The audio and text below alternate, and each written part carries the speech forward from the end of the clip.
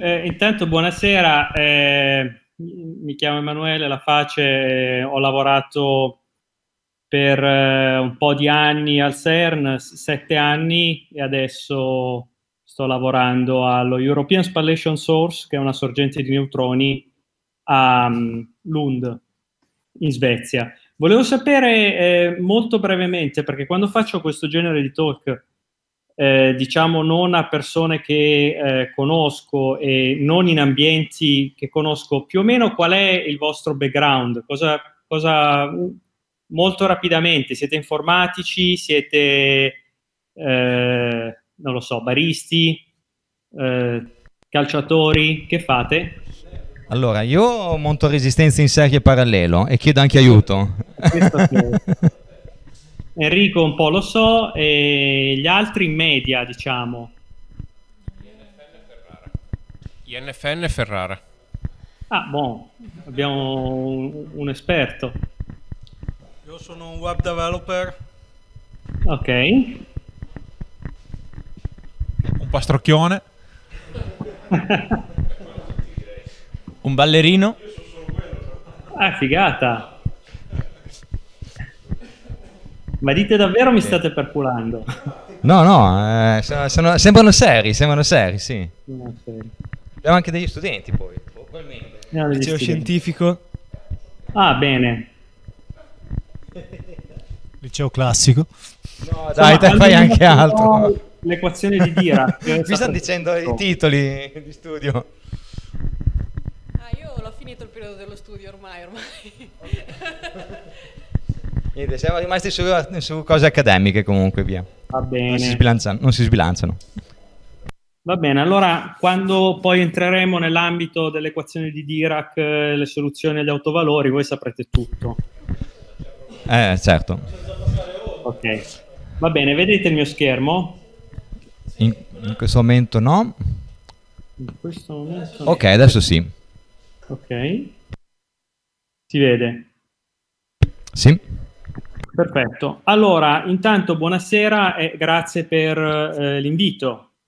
Io cercherò di fare il mio meglio per spiegarvi un pochino che cos'è il lavoro di un fisico che lavora in big science, quindi in un, in un grosso progetto come può essere un acceleratore di particelle. Ho cercato di non focalizzarmi eccessivamente sulla tecnologia degli acceleratori perché ritengo che possa essere abbastanza pallosa se uno non visita il laboratorio o non, eh, insomma, non è strettamente interessato all'acceleratore.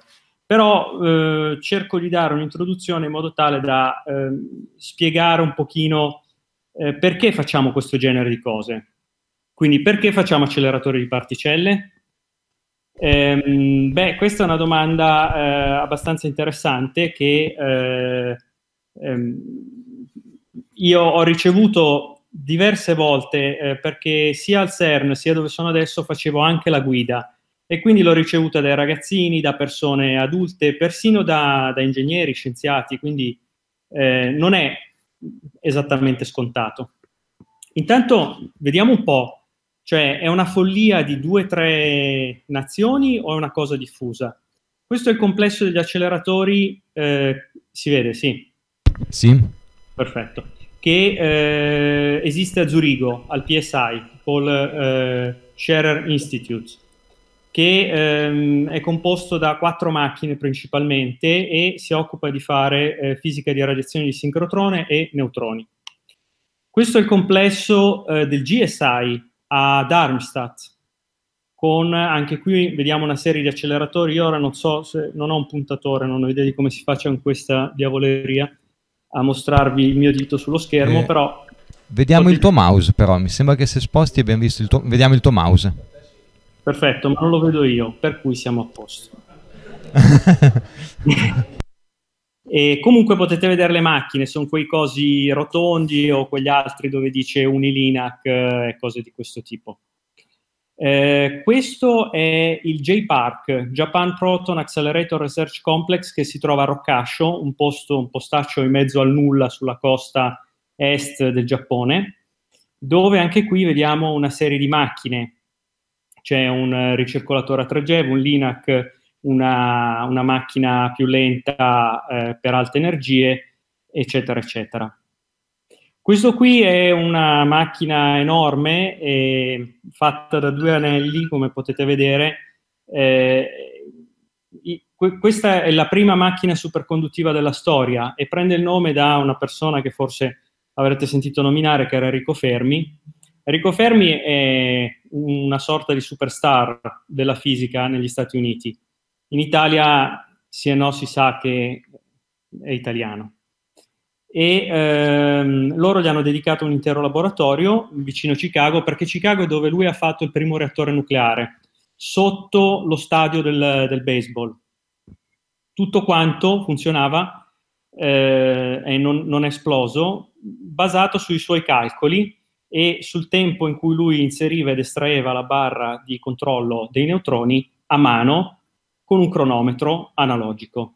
Se lui avesse sbagliato questi conti, la città di Chicago probabilmente oggi sarebbe molto diversa.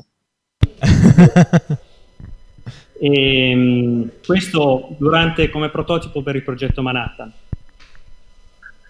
E, ehm, ad ogni modo, eh, questa è la prima macchina superconduttiva mai costruita ed è eh, un anello di ehm, pare 12 km, non me lo chiedete con precisione perché non lo so, pure se l'ho visitato.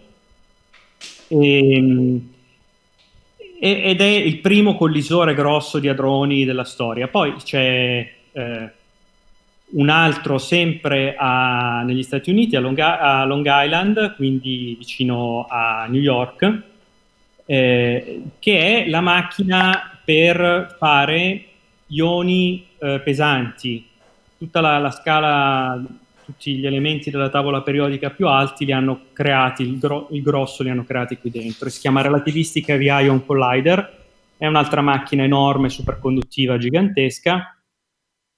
E poi abbiamo una cosa che probabilmente avete sentito nominare, sì, Elena glielo sentito nominare, però tutto il resto no. Anche Alice. Hai sentito nominare Elena? Elena e Alice, sì. Però tutte le altre ragazze non le conosco. Ma ah. cioè Elena ah, come nome? Esatto, ah, okay. sì. Giusto quello. operatori del CERN. C'è qualcuno qui che invece li conosce anche. Qualcosina, sì. Qualcosina, sì. sì. No, tutti assolutamente no. CSM, LHC, Atlas, LCB, LHCB, poi Questi basta.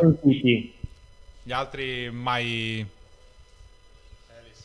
Sì, gli altri non li conosco. Benissimo. Qual- qualcuno... Allora, sono stato un paio di volte sul PS piccolino farete dei test beam in un fascio secondario. Scusa? Sono capitato un paio di volte sull'uscita del PS, su un fascio secondario abbastanza debole per fare dei test beam di un rivelatore che avevamo noi. Tu sei quello dell'INFN, Esatto, giusto. Come ti chiami, scusa? Barion Luca. Luca. Benissimo. Eh, eh, sì, eh, io, io qui ho usato un po' tutte queste macchine e considerate che questa immagine, per esempio, non è neanche più tanto realistica perché l'INAC 2 non esiste praticamente più e stanno collegando l'INAC 4, che è la nuova macchina che lo andrà a sostituire. E, ehm, di fatto quello che succede in queste macchine è che vengono generate delle particelle e vengono mandate all'interno di tutti questi loop che vedete, uno via l'altro, a volte vengono estratti e mandati in alcune aree per farci qualcosa, altre volte invece eh, arrivano fino a LHC e dentro LHC fanno delle collisioni di, eh, fra di loro, sia di protoni sia di ioni pesanti, per andare a, a tirar fuori qualche cosa. Poi andremo a vedere che cosa. Questa è la macchina di Stanford, siamo sempre negli Stati Uniti, questa è una macchina lineare con anche un ring. Eh, che serve a fare da eh, ricircolazione in questo caso ed è piuttosto grande anche questo come macchinario e questa è quella che sto costruendo io, un po' il, diciamo, il mio pargolo, eh, dove si vede l'area di costruzione del target prevalentemente e il capannone dove, eh, che ospita la, la Klystron Gallery, che sarebbe la zona eh, degli amplificatori di potenza che trasferiscono energia al fascio. Tut tutto questo eh, eh, è fatto a Lund. Fra l'altro, la ciambellina che vedete in alto a sinistra è un altro acceleratore di particelle che si chiama Max 4 o Max Fura come dicono qua, Fura di Ball, e, eh, sarebbe la macchina, eh, una macchina per radiazione di sincrotrone. Allora, intanto eh, perché ho fatto questa rassegna? L'ho fatta perché eh, volevo mh, chiarire un concetto fondamentale. Non è una specialità di un laboratorio, quella degli acceleratori. Eh, non è solo il CERN, non è un unico nel mondo, è pieno di acceleratori. Pieno, quando dico pieno, diciamo che saranno una cinquantina le macchine, quelle importanti nel mondo. Quindi perché si fanno queste macchine? Cioè, ci deve essere un motivo dietro, no? non è una cosa eh, solo per trovare il, il, famoso bosone di Higgs, poi ne, ne parleremo. Allora, uno dei motivi principali è che le particelle sono piccole. Ora, voi immaginate di voler vedere, mh, mm, si può fare un esempio, se voi prendete una partita di calcio e siete sugli spalti, il grosso della partita voi lo vedete individuando prevalentemente le maglie dei calciatori e la sagoma della palla, perché di più, più dettagli non riuscite a vedere tanto. Quindi eh, di tutto uno stadio che è molto grosso, eh, centinaia di metri, voi andate a, per identificare la parte che vi interessa, andate a vedere degli oggetti che sono della dimensione del metro. Una persona è alta un metro, due metri, quello che è, però quella scala lì. La palla è di 40 centimetri 20 centimetri, dipende se fate circonferenza. Be- benissimo, quindi eh, quando voi studiate un oggetto, di solito andate a utilizzare qualcosa di piccolo per poterlo eh, identificare, per potergli dare una forma. Se voi, eh, per esempio, eh, avete una palla da biliardo e volete individuarne la posizione, è abbastanza scomodo mandargli contro delle altre palle da biliardo e vedere dove vanno a rimbalzare, perché sposterete la, palla, la pallina che volevate misurare. Tra l'altro questo è uno dei modi con cui viene spiegato il famoso principio di indeterminazione. Voi avete un oggetto, lo bombardate con oggetti della stessa dimensione, lo mandate in vacca, non è più eh, facilmente trovabile. Ma comunque, al di là di questo, la cosa che eh, è interessante che se voi avete una sonda molto più piccola dell'oggetto che volete studiare, beh, quella sonda è utile per fare eh, microscopia o comunque per eh, la visualizzazione dei vostri oggetti. Chiaramente la sonda tipica, la prima che è stata utilizzata da tutti, sono i fotoni. I fotoni compongono la luce e sono effettivamente delle particelle molto piccole eh, che eh, per lungo tempo, fino ad Einstein, la gente non pensava neanche fossero particelle. Poi Einstein ha detto no, eh, i fotoni sono come gli elettroni, come i protoni, come tutte le altre particelle. E eh, venivano utilizzati anche un po' inconsapevolmente con i microscopi, i telescopi e tutti questi oggetti che finiscono in scopi. E, ehm, questo è un tipo di particella che si può utilizzare. Ho detto il fotone è molto piccolo, ma quanto? Ah, fra l'altro se avete domande interrompetemi. Eh. Qualcuno ha mai visto dei fotoni? Ok, tutti i giorni eh, dicono, sì, li conoscono bene, li vedono tutti i giorni, hanno detto. Quelli che ti stanno entrando nell'occhio dalle mie slide sono dei fotoni. Fra l'altro anche che fotoni, cioè non è che non sono fotoni scelti a caso. Beh, eh, storicamente i primi che si utilizzavano erano quelli della luce, della luce solare, quindi a caso, abbastanza quello che ci dà il sole, quelli che il nostro occhio per un'evoluzione abbastanza casuale vedono, perché poi la zona dei fotoni va da, dalla radiofrequenza fino ai raggi gamma e noi vediamo uno spettro, una parte dello spettro che è estremamente eh, sottile, piccola rispetto a tutto lo spettro del visibile. Beh, eh, comunque io ho detto i fotoni sono particelle piccole che permettono di guardare le cellule, per esempio. Tutti avrete fatto l'esperimento di tagliare la, la cipolla a fette, metterla sul microscopio e vedere la cellula della cipolla. Non so perché facciano sempre queste cose, fra l'altro la cipolla puzza, potrebbero fare cose più divertenti, ma comunque quando si fanno gli esperimenti classici a scuola si usano queste robe qua. Ma quanto è piccolo il fotone?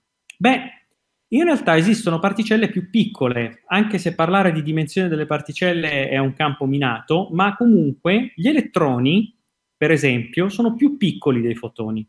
Tant'è vero che avrete sentito nominare un'invenzione che è del secolo scorso, del Novecento, che è il microscopio a elettroni, cosiddetto microscopio elettronico, che non è elettronico perché c'ha dentro i circuiti che gli poi ricostruiscono l'immagine, è elettronico perché usa gli elettroni per vedere il campione. Per esempio, questa è la stessa immagine di una, un, un insieme di cellule dove si vogliono andare a vedere le strutture interne, quegli aggeggi verdi sono gli stessi ricostruiti al microscopio elettronico a destra. Si vede chiaramente che la, lo zoom, diciamo così, la, il livello di eh, farle in italiano queste cose è difficilissimo, di ma- magnificazione non esiste, di, no, ma, ingrandimento è estremamente eh, maggiore con gli elettroni. Perché? Perché l'elettrone è una sonda molto più piccola del fotone e quindi permette di vedere dettagli più piccoli. Come si stabilisce la dimensione? Perché è più piccola sta particella? Beh, un modo, ora dico un po' di cose per cui quello degli NFN se si butta alla finestra gli do ragione, eh. No, Però, no, è qua che scrive ai suoi amici ridendo, no, sta, sta già... No, no. Ve, ve la dico sono, in modo lontano... estremamente naive. Sono ma quanto... una... Scusa? No, niente, dicevo che sono quanto più lontano ci può essere dal teorico, formule, eccetera. Sono sperimentale fino all'osso, quindi va benissimo questo livello qua anche per mm. me. Benissimo. Un modo mh, astratto, ma proprio regola a, a spanne di dire quanto è grossa una, un oggetto, una particella elementare, è quella di associargli la sua lunghezza d'onda data dalla famosa relazione che vale per tutte le particelle dove l'energia è uguale alla costante di Planck per la frequenza. La frequenza è l'inverso della lunghezza d'onda, diviso per la velocità della luce, quindi ha, si ha una relazione che ci dice che l'energia è uguale a una costante h che se l'ha inventata Planck quando si fumava le sue cose. Lui non era dane- eh, olandese, quindi non so che fumava. Per la velocità della luce diviso la dimensione, la lunghezza d'onda. Ora si dovrebbe chiarire cos'è questa lunghezza d'onda, l'onda di probabilità, bla bla bla, ma non ve la sto a fare sto, sto pippone perché non vale la pena. Però quello che avete è che in questa formula la dimensione lambda è inversamente proporzionale all'energia. Cioè, più una particella è grossa, è energetica, più è piccola di dimensioni. Per esempio, voi siete portati a pensare che il protone, che sta dentro al nucleo dell'atomo, sapete che l'atomo è protone, neutrone, e l'elettrone che gli gira intorno. Ma mi vedete quando faccio così? Sì, sì, ti vediamo. Perfetto. Protone, ne- neutrone e l'elettrone che gli gira intorno. La cosa che ci hanno sempre mostrato nei libri è che il protone è grosso così, il neutrone è grosso così e l'elettrone è piccolo così.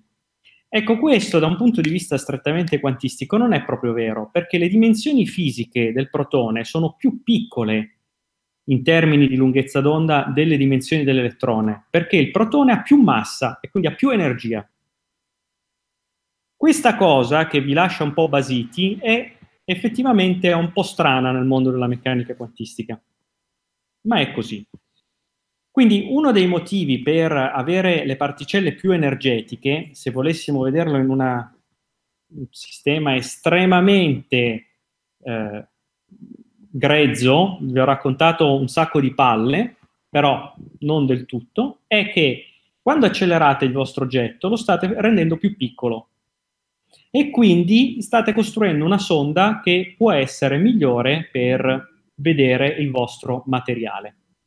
In realtà poi bisogna anche vedere quella che si chiama cross section, cioè come la vostra particella interagisce con il campione che volete osservare. E lì la meccanica quantistica di nuovo può sorprendere, può essere del tutto controintuitiva, un oggetto che va più veloce o più piano può interagire di più o di meno e quindi potete vedere di più o di meno del vostro campione. Per esempio, la macchina che io sto costruendo fa neutroni perché i neutroni scavalcano tutto il guscio di elettroni che stanno intorno all'atomo e permettono di vedere l'interno di un oggetto. Per esempio, questa è una macchina fotografica. Ora, io spero che qualcuno di voi sia vecchio quanto me là dentro e si ricordi che quando si facevano le foto c'era la pellicola dentro la macchina. Siete abbastanza vecchi? Uno sì, sì. fa il liceo. Eh, quello del liceo non l'avrà mai vista sta cosa, ma gli altri sì. No, l'ha vista anche lui, su internet magari. No. Perfetto. Ora, se voi vedete questa macchina fotografica, quella sotto è analizzata ai raggi X. Non è possibile stabilire se all'interno c'è o non c'è la pellicola, perché la capsula che conteneva la pellicola nella macchina fotografica era di metallo ed era fatta apposta per schermare la radiazione che proviene dal Sole, quella infrarossa nel particolare.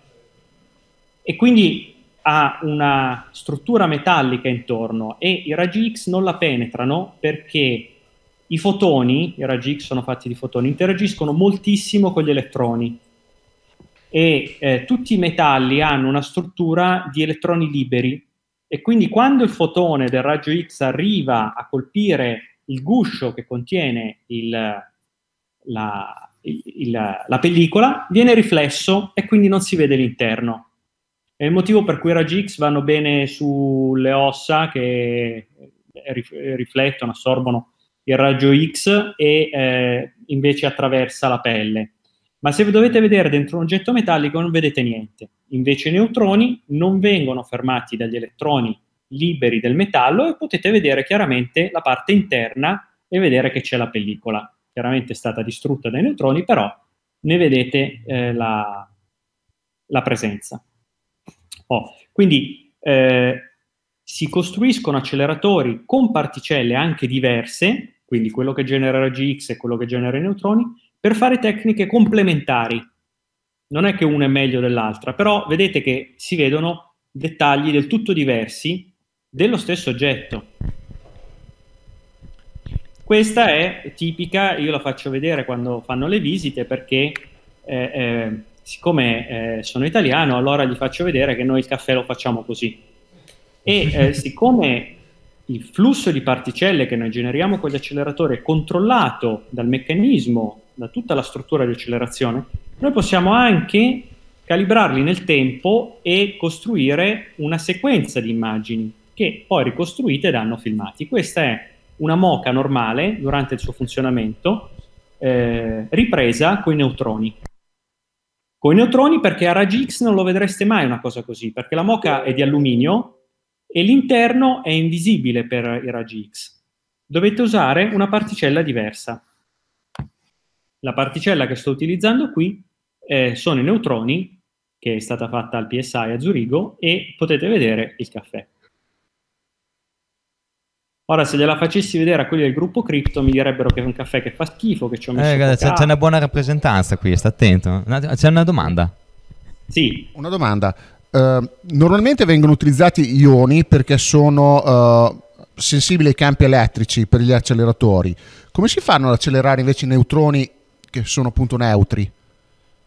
I neutroni non li acceleriamo. E questo è un grosso problema. È un grosso problema perché li devi generare all'energia che vuoi. Per fare questo acceleriamo protoni con un'energia opportuna che vanno a sbattere contro un bersaglio opportuno e da questo bersaglio escono neutroni con il massimo di energia che desideriamo. Dopodiché, se vogliamo dei neutroni mm, con meno energia, li moderiamo, cioè li rallentiamo. In questo modo abbiamo un range di energia dei neutroni dal valore massimo, che è quello estratto per collisione con protoni, a valori un po' eh, di meno, in funzione di che tipo di esperimento vogliamo fare. Capito, grazie. I neutroni, ma ti dirò di più, una cosa che io non ho mai capito, ho parlato con quelli di neutronica per settimane, i neutroni eh, eh, vengono incanalati in delle guide d'onda, che sono dei, dei tubi rettangolari. io non ho mai capito come faccia il neutrone a sbattere contro i muri, perché da un punto di vista atomico lo, lo sbattere non mi è chiaro perché il neutrone è neutro, a parte un debole momento magnetico dovuto ai quark che si muovono al suo interno, diciamo, alla... E quindi la collisione che uno si immagina meccanica non esiste a livello atomico, ci deve essere una delle forze fondamentali che sono la gravità, quella elettromagnetica, quella debole e quella forte. Una di queste deve essere repulsiva quando il neutrone si avvicina molto alla superficie del, della guida. E io non ho mai capito qual è di queste, cioè non è la gravità chiaramente, ma non so se è l'elettromagnetico o la debole, che genera un meccanismo per cui il neutrone viene riflesso. Fatto sta che loro riescono a fargli fare i rimbalzi all'interno su un, queste guide d'onda che hanno un rivestimento con un materiale apposito che ha alta riflettività dei neutroni. Però se dovessi dire il meccanismo fisico, io stesso non, non so in base a cosa funziona. Quindi è complicato. Questa, l'ultima cosa che vi faccio vedere con i neutroni, è una, perché appunto noi possiamo calibrare l'energia e la velocità con cui generiamo questi neutroni.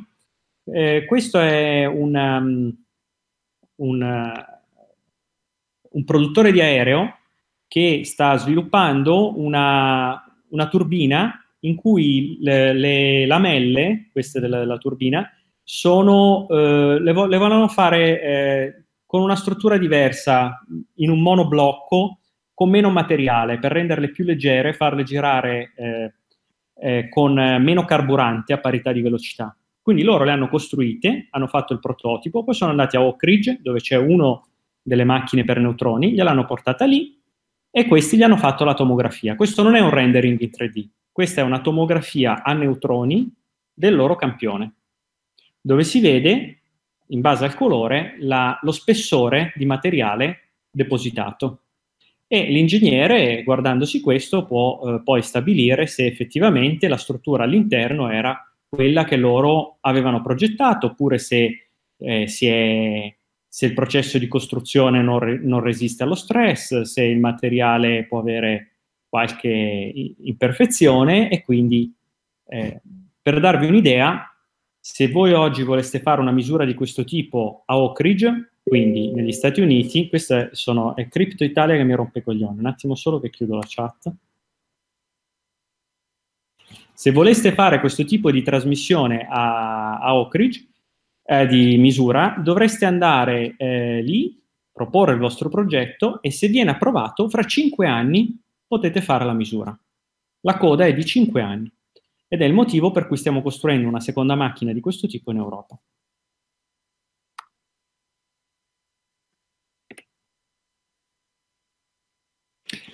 Quindi uno dei motivi per cui costruiamo gli acceleratori è per usare direttamente le particelle come sonde.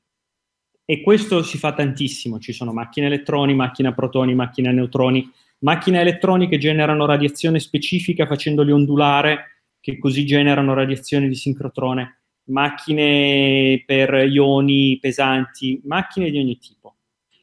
E potremmo chiamare queste come macchine di applicazione.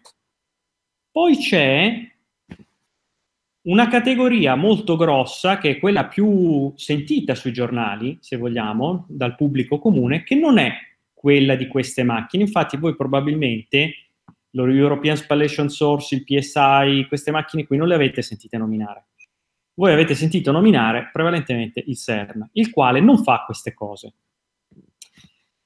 Per capire cosa fa il CERN, voglio partire da molto lontano però, perché vi voglio dare la teoria del perché siamo arrivati a fare macchine così grosse, così complesse come il Large Hadron Collider a Ginevra.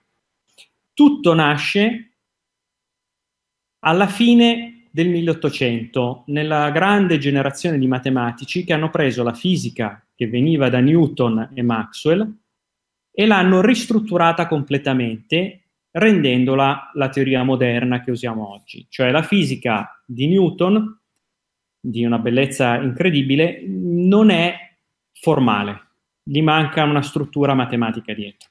I grandi matematici che sono stati Lagrange, Hilbert, e Noether hanno preso questa teoria e l'hanno costruita, ristrutturata in una teoria puramente formale, dove tutti i concetti fisici hanno una loro struttura matematica. Di tutti questi, probabilmente, il teorema più importante, la struttura matematica più importante che abbiamo nella fisica è il teorema di Noether, che risale a, eh, a Malie Noether, la quale pubblicava col nome di un uomo per molti anni eh, perché le donne non erano ammesse alle pubblicazioni, quindi lei scriveva con uno pseudonimo, altro che il Me Too. Eh, le donne presenti in sala hanno detto, eh lo sappiamo, lo sappiamo. Eh. Tuttavia nella comunità scientifica si sapeva che era lei, perché poi invitavano lei a fare i talk, perché agli scienziati gli fregava ben poco di tutte queste, queste beghe, loro volevano sentire la teoria. Infatti Einstein scrisse di lei che probabilmente era la, il matematico più dotato che lui avesse mai incontrato. Che cosa dice il teorema di Noether? Una cosa molto semplice. Se non sto a farvi i conti matematici con la Lagrangiana, ma dice che se voi in natura avete una simmetria, avete una legge di conservazione. Se voi avete una legge di conservazione, avete una simmetria. Cos'è una simmetria? La simmetria significa che se voi cambiate punto di vista sulla vostra osservazione e il fenomeno rimane lo stesso, avete una simmetria. Questa è la simmetria, cioè la descrizione di un fenomeno fisico che non cambia al cambiare del sistema di riferimento. Per esempio, se voi girate intorno al vostro laboratorio, lo orientate diversamente, il risultato dei vostri esperimenti non deve cambiare se voi eh, spostate avanti e indietro il vostro laboratorio, il, vostro, il risultato del vostro esperimento non deve cambiare. Se voi il vostro esperimento lo iniziate stasera o domani sera, il risultato del vostro esperimento non deve cambiare. Queste sono simmetrie. Quelle che ho enunciato, che sembrano banalità, conducono rispettivamente alla conservazione del momento angolare, alla conservazione della quantità di moto e alla conservazione dell'energia. Queste tre leggi sono dovute a quelle tre simmetrie e lo dice Noether. Ve ne faccio una semplice che si vede, la bicicletta. La bicicletta la conoscete tutti. Se voi la mettete dritta in piedi così, casca o a sinistra o a destra. Non c'è un motivo per cui dovrebbe stare in piedi. Ma se voi la bicicletta eh, iniziate a, ad andarci sopra, la fate girare, la ruota della vostra bicicletta rimarrà dritta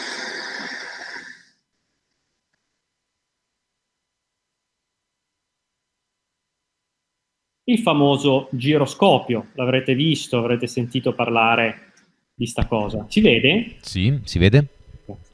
Questo sta facendo girare la ruota, ora la mette a 90 gradi e la ruota non è che casca, rimane a 90 gradi.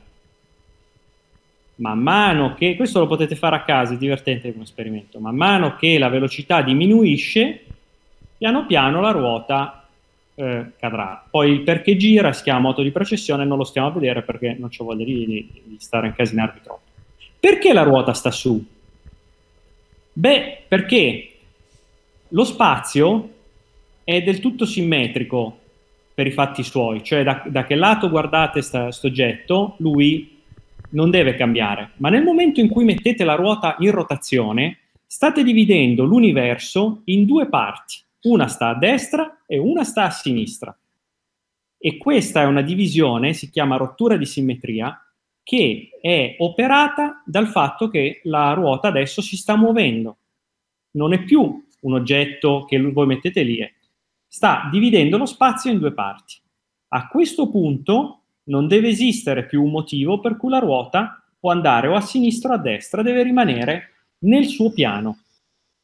Questo ci viene dato dal teorema di Noether, principio di conservazione dovuto alla simmetria, la simmetria spaziale che viene data da, dalla ruota che gira, impone alla ruota la legge di conservazione, che cosa si conserva? Il piano.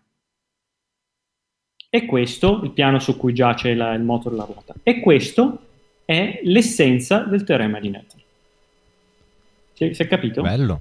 Sì, sì. Vedo dei sì. Benissimo. Ora, questa cosa è la base totale, globalissima di tutta la fisica.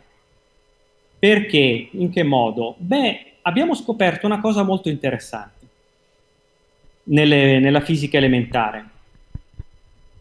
Le sole cose, i soli vincoli naturali sono quelli delle leggi di conservazione. Per esempio, se noi abbiamo un gruppo di tre particelle, queste non possono sparire, devono rimanere tre, o meglio, magari due possono eh, collidere e generarne altre in un numero diverso, questo può succedere, però l'energia totale, cioè la massa più la velocità iniziale delle particelle, deve rimanere conservata. Qualunque cosa faremo, questa cosa deve rimanere conservata perché c'è una simmetria, quella del tempo, che se tu vai, eh, ti sposti in un punto qualsiasi del tempo e fai il tuo esperimento è costante, ti rimane lo stesso valore, che garantisce la conservazione dell'energia.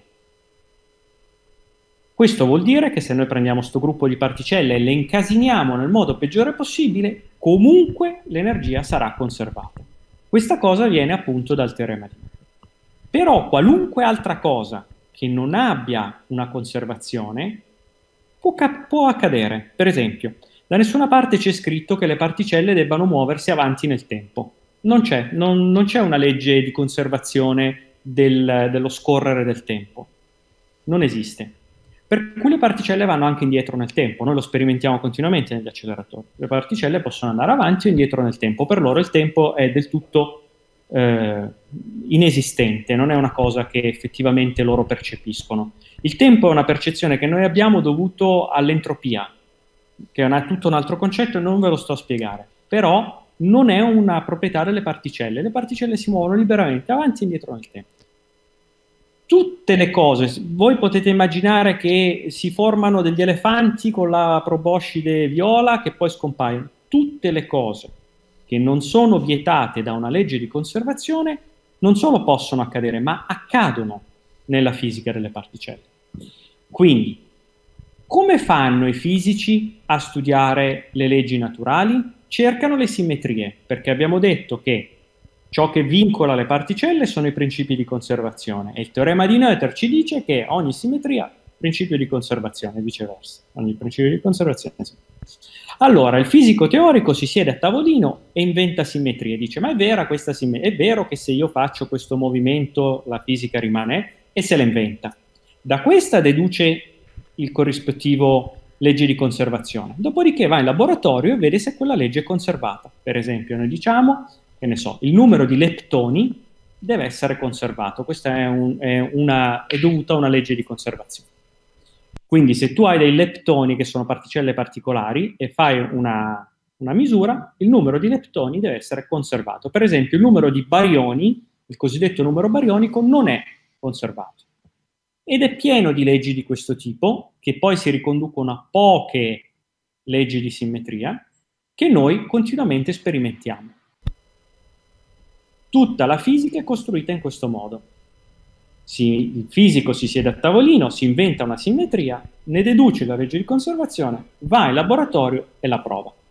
A volte però queste leggi di conservazione sono, eh, per provarle si deve andare a stressare il sistema in modo molto complicato, soprattutto sono vere a, eh, per verificarle a, quando le densità di energia sono estremamente elevate. Eh, scusa Emanuele, ma mi hai triggerato su una cosa, ma mi dicevi sì. prima che eh, particelle possono andare indietro nel tempo. Come ve ne sì. accorgete? Non ce ne accorgiamo. Eh, noi il tempo eh, ce l'abbiamo in una direzione e lo imponiamo, però se tu prendi un elettrone che si muove nella direzione temporale che tu definisci positiva, oppure un positrone, che sarebbe l'elettrone con la carica scambiata, e, e, lo muovi nella direzione temporale negativa, ottieni la stessa dinamica, non lo puoi distinguere, è indistinguibile. Infatti questa è una grossa simmetria che si chiama simmetria eh, CP, carica eh, CT, scusa, carica tempo. E, e, e non c'è modo di distinguerlo esistono dozzine di esperimenti che cercano di capire se facendo l'esperimento e guardandolo in un modo o nell'altro eh, si vede una differenza e questo non si è mai visto. Quindi okay. eh, non, eh, non, ce ne accorgiamo, noi fissiamo una direzione e basata su quella imponiamo le, la, la carica della particella e la tracciamo nel nostro tempo, ma la puoi tutta descrivere al contrario ed è identica. Quindi per quanto ne sappiamo l'universo può andare al contrario nel tempo e noi non ce ne stiamo accorgendo. Lo chiamiamo in una direzione, ma magari nell'altra. Ho capito. È, eh. è un po' strano da pensare, però eh, l'unica cosa che impone una direzione del tempo è l'entropia ai nostri occhi. Però l'entropia è un fenomeno emergente statistico. Non è, cioè, se tu pigli l'acquario con i pesci lo fai bollire, ottieni la zuppa di pesce. Dalla zuppa di pesce è piuttosto complicato, pare, tornare all'acquario. E quindi diciamo, ah, se tu vedi due fotografie, zuppa di pesce e acquario, sai dire qual era prima e qual era dopo. Così che noi percepiamo il tempo. Ma da un punto di vista atomico, se tu pigli gli atomi della zuppa di pesce e gli atomi dell'acquario, non c'è distinzione. Loro hanno, fatto, hanno seguito una dinamica, sono andati da uno all'altro e potresti invertire la cosa e andare dal secondo al primo. Non c'è una... L'unica differenza è che le probabilità degli stati sono adesso eh, maggiori nella, nella, zuppa di pesce rispetto all'acquario, che è un sistema più ordinato e quindi ha una probabilità minore di accadere.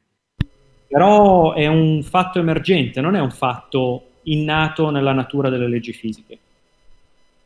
Un po' complicato, ci si no, deve no, pensare. Per... Col, col discorso del, del, fatto che sia una questione di probabilità di, di partire da un sistema ordinato e, e andare in uno disordinato piuttosto che tornare indietro, direi che è abbastanza intuitivo. Ottimo, grazie. E quindi quello che si fa oggi è cercare ogni possibile evento, o almeno ogni possibile di quelli che i teorici sono seduti lì e hanno detto dovrebbero esserci. Quindi che si fa? Si ipotizza che esistano una serie di eventi che rispettino una serie di leggi di conservazione o che le violino a seconda del tipo di simmetria che uno si è immaginato e poi si fanno andare a sbattere con estrema violenza delle particelle a un'energia tale da poter produrre questi eventi. Chiaramente tutti gli eventi che potevamo produrre alle energie più basse li abbiamo già visti ed ecco che eh, la competizione è andare a energie sempre più alte, anche perché la fisica sembra dirci, ma questa è totalmente ipotetica, non è mai stata dimostrata e non c'è un motivo per cui dovrebbe essere così, che più si aumenta l'energia, più quindi si va alle condizioni in cui si è generato l'universo, perché l'universo era tutta la massa che vedete, le galassie, centinaia di miliardi di galassie, tutte condensate in un puntino molto piccolo, quindi la densità di energia lì era un bordello, unità fisica. Unità di misura standard. Esatto. Quella, a quella densità di energia pare che il mondo fosse super simmetrico, cioè soddisfasse delle simmetrie molto grosse, molto ampie, dei gruppi di simmetria tali per cui si dovrebbero vedere fenomeni eh, estremamente simmetrici, leggi di conservazione globale che poi si spezzettano in simmetrie locali che noi oggi misuriamo. C'è tutta una, una teoria su come dovrebbe essere un universo supersimmetrico che poi per rottura spontanea di simmetria, come dire, tu vedi la, la, ruota della bicicletta quando è ferma per terra e dici, boh, quella è ferma. Però se gli puoi dare un po' di energia e farla ruotare, dici, ah, guarda un po', quella ritorna a uno stato di simmetria. Stessa, un po' la stessa cosa è quello che facciamo nel, nelle, nei grandi collisori. Cerchiamo di ritornare indietro alle condizioni di densità di energia un po' prima della, di quella di oggi e vedere se lì costruiamo queste leggi di conservazione che ci aspettiamo di vedere. E questo, è, questo che avete visto qua è CMS, il Compact Muon Solenoid. Se avete visitato il CERN capirete che la parola compact l'hanno usata per coglionare i visitatori. è un aggeggio grosso come un palazzo di eh, 10 piani probabilmente. Ed è compatto rispetto ad Atlas, che è l'altro esperimento grosso, che è questo qua. E questo è quello che vedete in una collisione di solito, tutti questi pallini che vengono generati e voi dovete capire se fra questi c'è il pallino del teorico che l'ha previsto. Uno di questi è stato il bosone di Higgs, poi magari vediamo cos'è. Ora, c'è un punto essenziale. Io vi ho parlato della parte scientifica, cioè noi costruiamo queste macchine per due motivi ho detto. Uno di applicazione immediata, fra l'altro io non vi ho detto l'applicazione più diffusa che eh, l'ho, tra- l'ho tralasciata perché è quasi banale, ma è la terapia del cancro. Cioè ad oggi moltissimi tumori vengono eh, combattuti mediante l'utilizzo di acceleratori di particelle. E queste sono macchine dall'applicazione immediata, poi ci sono quelle per fare le, le radiografie, le, sì, le radiografie, diciamo, le, lo studio dei materiali, come quella che sto costruendo io, come ce ne sono altre, e poi ci sono le macchine di scoperta. Eh, L'HC, il Tevatron, RIC, sono macchine che cercano nuova fisica, nuove simmetrie della natura, nuove leggi. E su queste tante volte si obietta una domanda è sì, ma perché? Ho capito, ma dopo che io so che il Pinco Pallino eh, ha questa legge di conservazione, ma che me frega? Vale la pena investire in un progetto di questo tipo? Ecco. Una delle cose che vorrei sottolineare è sì, vale la pena. Intanto vale la pena perché con la tecnologia sviluppata per fare l'HC ci curiamo poi i tumori, perché è da lì che viene. Le, macchina, per, per, esempio, ave, avete mai fatto una risonanza magnetica? Quella dove vi mettono nel tubo e sentite... Sì. Eh, quel coso lì è un solenoide superconduttivo e la tecnologia dei magneti superconduttivi è stata sviluppata appunto per la prima volta al Tevatron eh, per fare la, gli acceleratori di particelle. Poi uno ha detto, ma sai che c'è? Eh, possiamo vedere lo spin magnetico dei protoni dentro i nuclei e lo usiamo per fare radiografie innocue. La, la risonanza magnetica è del tutto innocua. L'inventore se ne è fatte 10.000 per fare i test. Quindi no, non è come la TAC o le, i raggi X che invece eh, sono radiazioni ionizzanti. Risonanze magnetiche potete passare la vita dentro il macchinario e non vi succede niente. Questo genere di tecnologia quindi è così. Ma quindi la ricerca di base a che serve? Ecco, vediamo che cosa occorre per fare una macchina come LHC. LHC è una macchina di 27 km, è la circonferenza di Milano.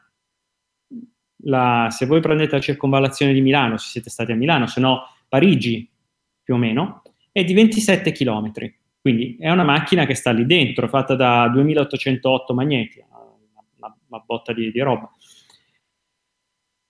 LHC genera, ora lo dico per gli informatici in sala, un petabyte al secondo di dati. Quanto? Quanto dicono, scusa, che è? Un petabyte. Peta, quello... al secondo. Al secondo. Chiaramente questo necessita il dover sviluppare una tecnologia dell'informazione. Eh, scusa, eh, hai chiesto Enrico se la mettete su blockchain poi. ma su Bitcoin Cash perché hai blocchi più grossi. Esatto, esatto, il scivissimo. Ok, Bitcoin sì, sì. costerebbe troppo. non è nato per questo. No. ok. Vai pure avanti, scusa. Altro, altro che Ethereum. Un petabyte per secondo. Chiaramente una cosa di questo tipo richiede di dover sviluppare un sistema di eh, trasferimento, archiviazione, analisi dati che non esiste. Fanno un miliardo di collisioni al, se- uh, al secondo, sono uh, la, te- la, temperatura che si sviluppa nelle collisioni è 100.000 volte più grande della temperatura del Sole. Il tutto dentro una macchina che sta a 2 Kelvin, meno 270, meno 271 gradi. Eh, cioè, Fare una cosa così è difficile e questo è, secondo me, il motivo principale de, eh, per cui queste macchine hanno un valore, ancora di più della scoperta scientifica in sé, che è, diciamo, la motivazione ultima.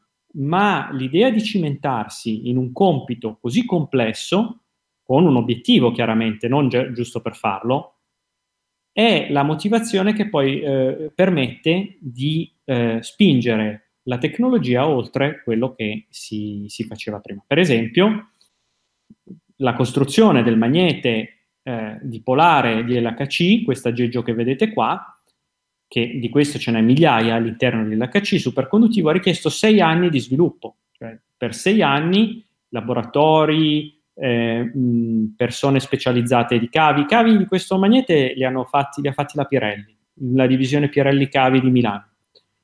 E poi sono stati imbobinati, hanno dovuto fare migliaia di test su come costruire le strutture per ospitarli, dopodiché li hanno assemblati, li hanno messi insieme e sono riusciti a fare un eh, aggeggio superconduttivo e questi sono magneti da, eh, mi sembra, 10 Tesla di campo che servono per far girare le particelle, quindi non sono proprio l'oggetto finale di tutto l'aggeggio, sono eh, semplicemente delle strutture che incanalano le particelle e le fanno girare all'interno della macchina. E ci hanno messo sei anni per costruirli, sei anni dove non è che si sono grattati la testa, cioè, ci hanno fatto uh, chili e chili di tecnologia che poi verrà impiegata per fare, che ne so, nuovi macchinari medicali, nuovi sistemi di trasporto, i treni a levitazione magnetica, vengono tutti da queste ricerche. Questa la conoscete probabilmente, non so se l'avete mai vista in questo formato. Questo è stato il primo formato di Tim Berners-Lee Sto guardando un po' le facce, vedo occhi un po' più chiusi. Qualcuno sta leggendo. Qualcuno ha capito cos'è? Web. La prima pagina, pagina web. web. Questa è stata fatta al CERN da un ricercatore del CERN. Perché? Perché negli anni Ottanta c'era la necessità c'era la necessità negli anni Ottanta di scrivere un, di fare un sistema per la condivisione dei dati degli esperimenti e all'epoca utilizzavano FTP, che era una rottura di palle perché tu volevi avere un testo descrittivo con i dati, con le immagini.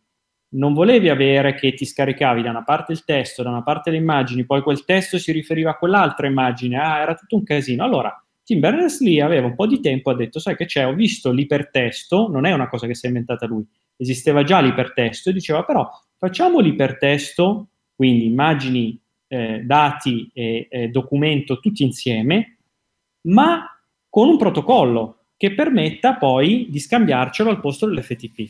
E si è inventato il web.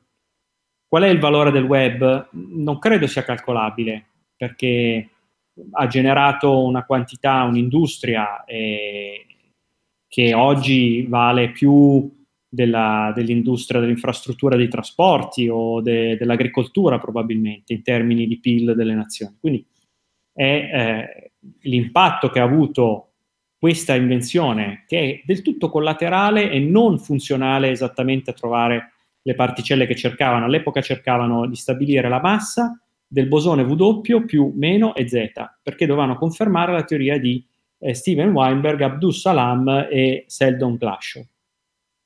Questo era la, l'obiettivo quando Tim Berners-Lee ha inventato il web. Voi probabilmente della massa di queste tre particelle non avete mai sentito parlare, a parte una persona che viene dall'INFN, mentre tutti gli altri avranno sentito parlare del web. Questo è ad esempio il bersaglio che stiamo costruendo da noi, un bersaglio che deve sopportare 125 MW di potenza di fascio su barre di tungsteno e la tecnologia che stiamo sviluppando per costruire questo bersaglio probabilmente darà poi il via a una serie di sistemi per fare schermaggio, ad esempio, nei reattori di fusione nucleare, dove la temperatura all'interno del core deve sopportare potenze di questo tipo e quindi verranno poi utilizzati. Ma noi non lo usiamo per quello, lo usiamo per la nostra macchina, il nostro acceleratore. Questo, ad esempio, è il nostro building del bersaglio che ci hanno chiesto che resista alla cascata degli aerei perché dicono poi dentro è radioattivo, è meglio se resiste. Allora, io ho parlato un po' e quindi volendo si potrebbe aprire una sessione di domande, ma a tutto questo posso dire che c'è almeno una serie di domande, vediamo se riesco a prevenirvi un po', che non ho mai proprio sentito nella mia vita, quindi mi domando se voi abbiate domande di questo tipo. Allora adesso faccio girare un po' il microfono intanto.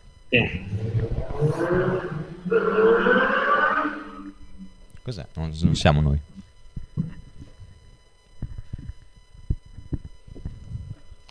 Uh, dai, c'è uno che ti spara facile qualche domanda.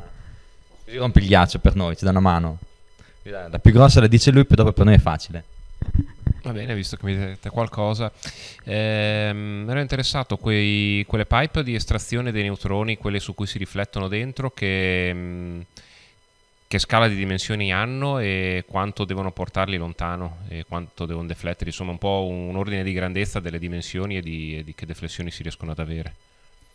Eh, ti dico per quello che ho visto visivamente, le guide dei neutroni hanno una sezione sui 20 cm, di, sono rettangolari sui 20 cm di apertura e la lunghezza è, sarà un 20 metri, 25, fra 20 e 50 metri, dipende dal, dagli esperimenti. Ok, ha detto grazie. Vediamo un po'. Ma nessuno mi fa Abbiamo... queste tre domande? Ah, adesso... Adesso c'è, c'è. Io capire, salve, io capire cos'è il bosone di X eh, mi piacerebbe. Sì. Perfetto. Questa, allora, parto prima dalla prima di queste domande perché è molto rapida. Vi dico semplicemente quanto costa, perché questa è una domanda che mi fanno sempre, la prima di solito. E eh, questo è il costo di questi progetti, più o meno. Cioè, se quando leggete da qualche parte, ah sì, ma tutti questi soldi buttati via per trovare il di Higgs non potevamo utilizzarli per cacciare gli immigrati e affondare i barconi, perché un tempo si diceva per aiutarli, oggi però li, li, li affondano, quindi per affondare gli immigrati. Sei rimasto e... informato comunque, sei là ma sei informato? Sì, sono informatico. E, circa un euro all'anno, cioè delle vostre tasse che avete pagato, mi avete contribuito con, voi siete lì una ventina, diciamo un, un, un pranzo mi è arrivato, grazie. Questo per i progetti costosi, tipo il CERN. Il mio costa circa mezzo euro all'anno. Cos'è sto borsone di Higgs? Questo l'avete sentito nominare? Sì, sì, sì. Quasi, quasi tutti. Tutti. Ok, allora. Anzi, si chiedono il senso della tua slide. Il bosone di Higgs, vi racconto un'altra storia, faccio come il nonno qua seduto in poltrona che vi racconta. È il 1928. In Italia ci sono le leggi fascistissime, andatevela a leggere perché sono un capolavoro. Mentre in Italia ci prepariamo al probabilmente periodo storico peggiore degli ultimi, degli ultimi secoli, in Inghilterra c'è questo tizio, questo si chiama Paul Adrian Maurice Dirac, che studia, lui studia, non è mica, mica un fesso, che studia Dirac. Dirac sta cercando di risolvere un problema antico, la meccanica quantistica nel 28 è nata da qualche anno, da 20 anni circa, e eh, l'ha fatta, eh, al di là di tante persone, Schrödinger. Schrödinger è quello che amava ficcare i gatti nelle scatole e non saperne più niente. È eh, la persona che ehm, ha descritto il moto di una particella come se fosse quello di un'onda poi non sarà lui a dare come interpretazione il fatto che quest'onda sia la probabilità di trovare la particella in una re- determinata regione di spazio. Questo lo ha fatto Max Born, da non confondere con Bohr, altro della meccanica quantistica. Ma comunque Schrödinger, quando ha iniziato a scrivere la sua equazione dell'onda che si muove, sapeva già della teoria della relatività di Einstein, non quella della gravità, ma quella che spiega il moto degli oggetti molto veloci alla velocità della luce. E la voleva usare. Lui sapeva che la teoria di Newton e di Galileo delle trasformazioni non era esatta perché non, non si conciliava con la, l'elettromagnetismo, non funzionava bene. Voleva usare quella di Einstein e ci ha spaccato sopra la testa per anni e non ce l'ha fatta. Prima di lui c'erano altri due fisici che, poveretti, avevano trovato la soluzione ma non lo sapevano, si chiamavano Klein e Gordon. Oggi eh, eh, Gordon è ricordato solo come il maggiordomo di Batman e Klein per eh, cose che eh, voi non, non, sapete, tipo la bottiglia di Klein. ma in realtà non erano quei Ah, due, sì, Klein erano altri due che nessuno sa, a parte i fisici, ma purtroppo loro avevano azzeccato, come Dirac, avevano capito come conciliare le cose, ma non funzionavano, Erano- non funzionavano bene la- le equazioni che avevano scritto loro. Bi- bisognava pensarci un pochino di più. Insomma, Klein e Gordon passano nel dimenticatoio. Schrödinger molla il colpo e torna alla versione newtoniana e scrive un'equazione delle onde classica, se vogliamo, ma quantistica, non relativistica, e Einstein si faceva le pippe per i fatti suoi perché lui, che gli vuoi era Einstein. Arriva Dirac e riesce a metterle insieme e scrive un'equazione che non vi sto a spiegare, che è quella qui sotto, di un'eleganza esagerata per i fisici che la guardano, ma al di là di questa cosa, Dirac scrive questa equazione che è un'evoluzione di quella di Klein e Gordon, ma c'è un problema. Cioè, ci sono due problemi in questa equazione. Una è che questa equazione ha sempre due soluzioni. Data una particella, ce ne sta un'altra.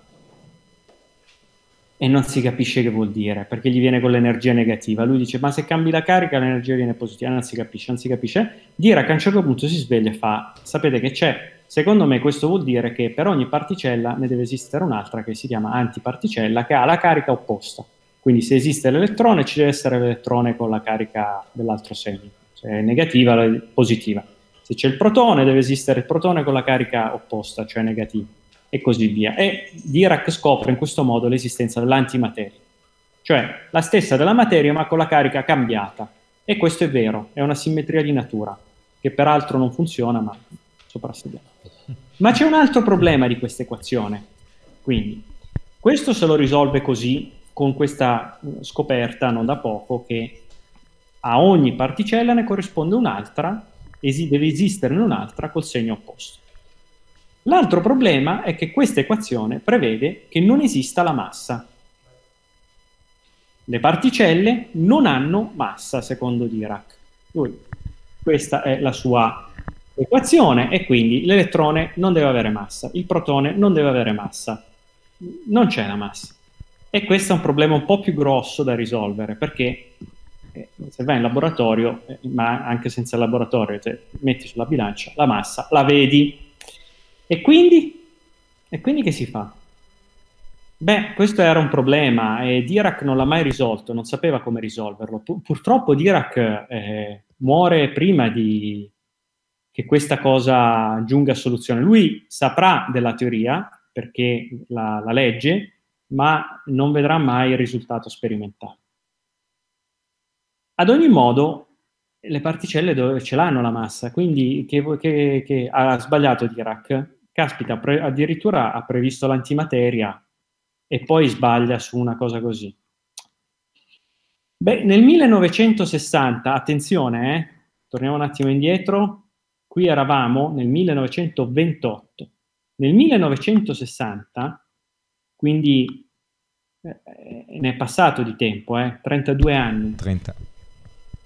eh, sì, dal 28 al 32. A voglia picchiare testate sul muro, tre fisici, per vie diverse, Peter Higgs, François Engler e Robert eh, Bruot, Bruot, francese non è il mio forte, studiando le simmetrie delle equazioni di Dirac, sempre per la stessa strada, teorema di Noether, quella è il faro illuminante, capiscono che la massa potrebbe non essere una proprietà della materia come la carica. La carica elettrica, per quanto ne sappiamo noi oggi, è una proprietà intrinseca della materia, non, non è, c'è, la si mette come, come numero ad cazzum nelle equazioni, non c'è un modo per forzare, per dire che la, la particella ass- assume una carica, ce la deve avere. Ma la massa, loro dicono, è possibile che sia una proprietà acquisita, cioè le particelle nascono tutte senza massa, come il fotone, il fotone, quello che compone la luce, non ha massa. Si muove alla velocità della luce perché non ha massa e rimane tutta la sua vita senza massa. Invece le altre particelle interagiscono con qualcosa che è presente nello spazio. Immaginiamo di avere una melassa. Di, di solito esiste un... ehm, Quando la spiegò eh, Higgs la prima volta, utilizzò, eh, al pubblico, utilizzò questa cosa. Immaginate di essere in una sala eh, a una festa. Eh, la sala è piena di gente che è lì che sbevazza. A un certo punto dentro questa sala, e eh, sono tutti lì che si fanno le canne, tutte queste cose qui, entra eh, un- uno della finanza. Cosa succede? Che tutti quanti girano le spalle e stanno fra di loro e cercano di non farsi, insomma, di, di isolarlo il più possibile, di non farsi accorgere. Questo qui passa indisturbato attraverso la gente perché lo sbirro non lo vuole nessuno. Oppure Roger Ver, per dire. Qui ha riso solo uno. Immaginiamo che invece in questa sala entri, ora dovrei dire una figa pazzesca, ma poi mi tacciano di sessismo, Cristiano Ronaldo. Tutte le ragazze della sala si girano e vanno a cercare di interagire con lui. Per cui lui, dall'entrata dalla porta per arrivare a prendersi il drink, ci metterà tempo perché eh, de- deve stare a cercare di scrollarsi addosso tutte eh, eh, le, le signore della sala che vogliono interagire con lui, giustamente, e lui quindi rallenta rispetto all'altro eh, personaggio che invece se se la viaggiava via veloce. Questa è Ecco. sempre la spiegazione di X, vero? Cioè lui la, diceva, la raccontava così lui. Lui così la raccontava, forse non con Cristiano Ronaldo e Roger Ver, ma credo che i personaggi siano sì. Per cui, che cos'è il bosone di Higgs? È esattamente questo. Nello spazio c'è, eh, c'è un campo, in tutto lo spazio, che si chiama campo di Higgs, gli hanno dato il nome dopo che lui l'ha ipotizzato, lui e questi tre signori in realtà. E nel momento in cui la particella si muove e se interagisce perché completa una simmetria con il campo di Higgs, rallenta e acquisisce inerzia. Questa inerzia noi la misuriamo dandogli il nome di massa, perché Newton ci ha spiegato che la, eh, Einstein, scusa, ci ha spiegato che la massa inerziale e la massa cinetica di fatto sono la stessa cosa la- la- e quindi noi non la, non la sappiamo distinguere. Non esiste la massa, la massa è una proprietà che si acquisisce per interazione col bosone di Higgs. Quindi Dirac aveva ragione, tutte le particelle nascono prive di massa, ma col fatto che esiste il campo di Higgs e alcune di queste interagiscono, alcune di più, altre di meno, alcune hanno più massa, altre hanno meno massa e questa è la spiegazione della massa. Quindi capite che se non fosse esistito il bosone di Higgs noi avremmo una teoria oggi molto bella, quella di Dirac che spiega tante cose delle particelle, ma avremmo un buco enorme di conoscenza che è perché c'è la massa. Doveva esistere il bosone di Higgs, è una ricerca che si fa dal 1960, ci ha provato il Tevatron, ci ha provato il LEP e finalmente ci è riuscito LHC. Il 4 luglio del 2012, 52 anni dopo l'ipotesi di Higgs e 84 anni dopo la teoria di Dirac, per dare un'idea di quanto ci voglia a venirne fuori, è stato annunciato in una sala che sembrava uno stadio il bosone di Higgs, l'esistenza del bosone di Higgs, trovato al CERN per una massa di 125 GeV e eh, oggi sappiamo che la teoria è quella ed è corretta, per cui era necessario trovarla per confermare la teoria. Quindi X in pratica è Ronaldo. Il bosone di X è Ronaldo fondamentalmente, nella spiegazione. Se ho capito Beh, bene. È tutti quelli che vanno a interagire con lui. Ok, Ronaldo è una particella dotata di massa, che noi chiamiamo dotata di massa, un elettrone, un protone. Più è grossa, più è popolare, cioè più interagisce con questi bosoni di Higgs che stanno nella sala, più lui rallenterà e noi percepiremo il fatto che non si muove più alla velocità della luce, ma a una velocità finita e questo gli è dato dalla massa, dall'inerzia che ha nel interagire col bosone di Higgs. ok, grazie. Domanda? Ora, questo è un filmato di 10 minuti, io fra l'altro l'ho, l'ho tagliato perché il filmato originale è di due ore e non ve lo voglio stare a fare perché è, è tutto un pippone, ma vi voglio far vedere una cosa. Questo è il giorno in cui è stato annunciato il bosone di Higgs, vi voglio fare vedere solo un momento. Eh, Good Vediamo morning, everybody, here in Geneva. Good. Non ci riesco perché chiaramente... no. Vediamo se ci riesco così. Good morning, everybody. Here in Questo era il direttore generale all'epoca, Good ma non ho il controllo per farlo andare avanti e indietro, quindi vediamo la slide, se no vabbè. Se no lo tro- ah, sai, sai che posso fare? Aspetta.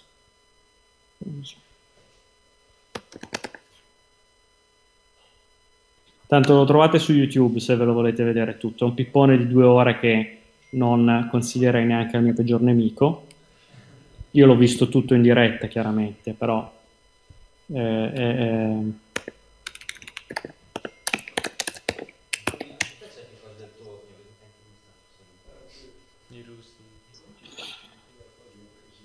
Ma la cosa a cui io non avevo mai assistito in vita mia, io ne ho, ne ho viste qualche talk, l'ho visto, è quella che accade a questo punto. Allora, parlano i due esperimenti, prima CMS e poi Atlas. Ci sono due esperimenti costruiti da due team del tutto indipendenti per validare le misure fatte da uno, perché una macchina come l'HC è difficile da riprodurre, non ce n'è un'altra nel mondo attualmente. Quindi, se un risultato è valido per un esperimento, poi quando fa la pubblicazione, chi lo prova?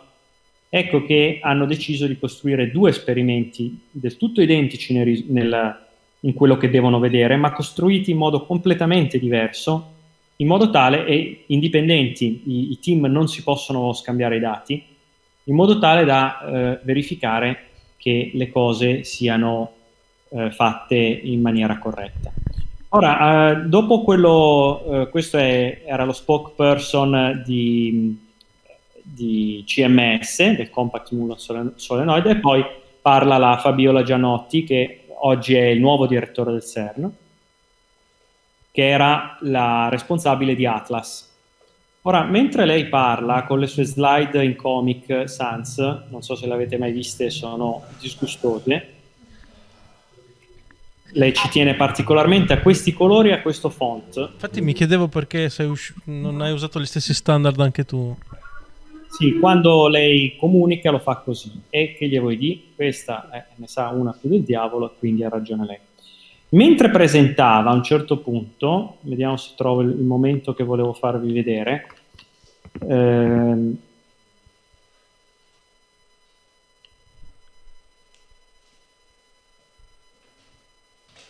Ecco, più o meno a questo punto qua succede un evento che io non ho mai visto in una, una presentazione scientifica. Grand combination. The channels that you have seen before, together with uh, the other channels from the 2011 results. Si vede? So, Sì. again, starting Si sente? the uh, cross-section. Sì, sì. through- This is the situation up to now, this morning. Ecco, questo è il grafico che mostra l'esistenza, questa gobba di qua e di qua, che mostra l'esistenza di questa particella, In, cioè il in the bosone red, you can di... see the region excluded until this morning. And this is what we have now. Total blackout everywhere, except in this mass window here, between 126.2.6 and 129.7 GV. And also note that a large part of this region is also excluded at the 99% confidence level. Okay? Of course, we, we don't reach the level of sensitivity beyond, beyond 600 GV, so I'm not talking about high mass region, concentrating on this. So, quantification of the excess. This slide shows, again, the usual p-value as a function of mass, and also the significance now as a function of mass. I show the full mass range because it shows you the excellent consistency everywhere between background, the ground only scenario and the data at the level, fluctuation at the level of below plus or minus 2 sigma. So this, this distribution is extremely clean, except one big spike here in this region here. So zooming in this region,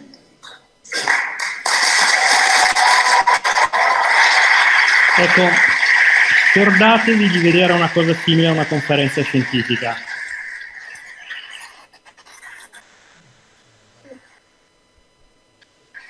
Cioè,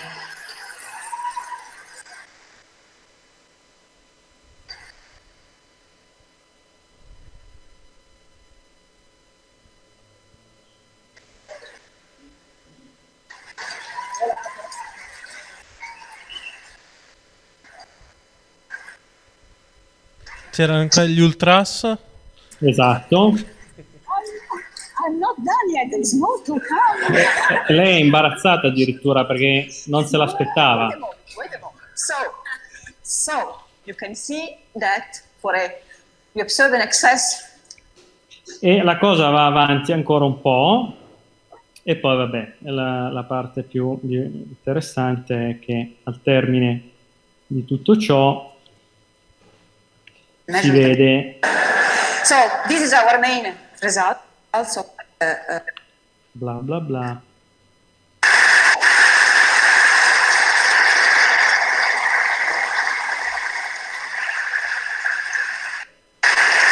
E questo qua che si mette a piangere era Peter Higgs. Del resto aspettava questa cosa da 52 anni, infatti al termine dell'intervista, forse c'è dopo, vediamo se c'è. Mi pare proprio di sì. Questo è Lynn Evans, questo è stato il direttore della macchina, colui che conosceva ogni bullone dell'acceleratore. E questi erano quelli in Australia che ascoltavano. Mike Lamont, vabbè. Il- gli altri teorici, ma a un certo punto dovrebbero intervistare anche Peter Higgs, vediamo se me lo ricordo che c'era. Eccolo qua. E François Englert. Il terzo purtroppo non ce l'ha fatta.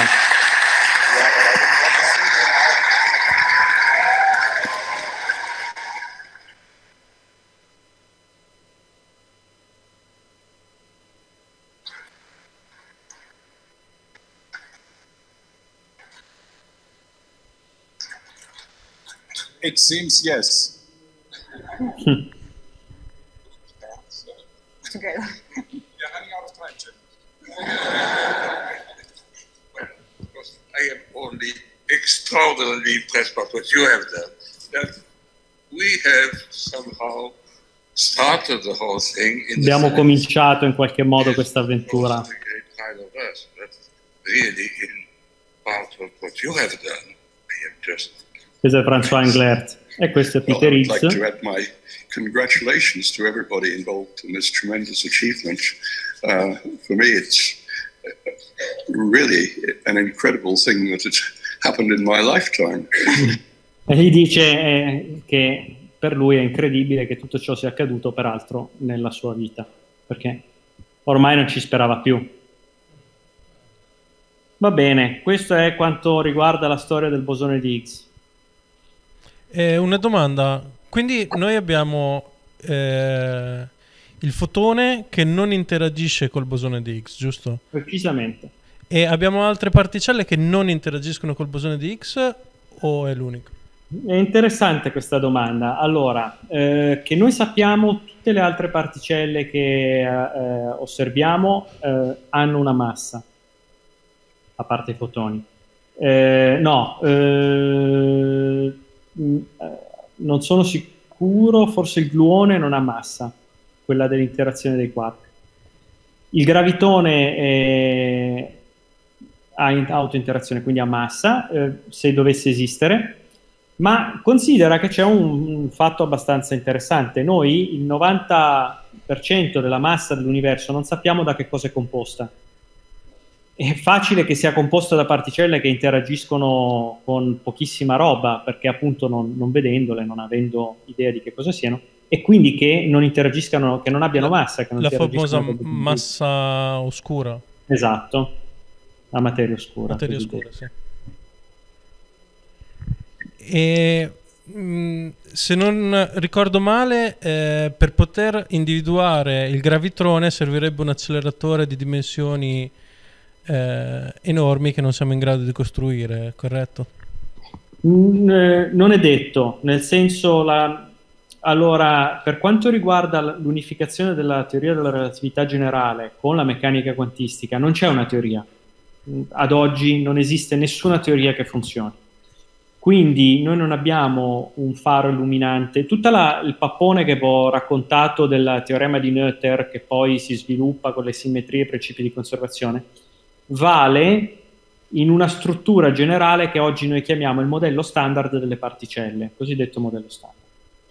Qualunque teoria che includa una quantizzazione della gravità è estranea al modello standard, perché il fatto di utilizzare lo spazio e il tempo non più come variabili indipendenti, quindi dentro un sistema di simmetrie globali, ma come particella, rompe completamente tutta la teoria, la struttura teorica che noi abbiamo.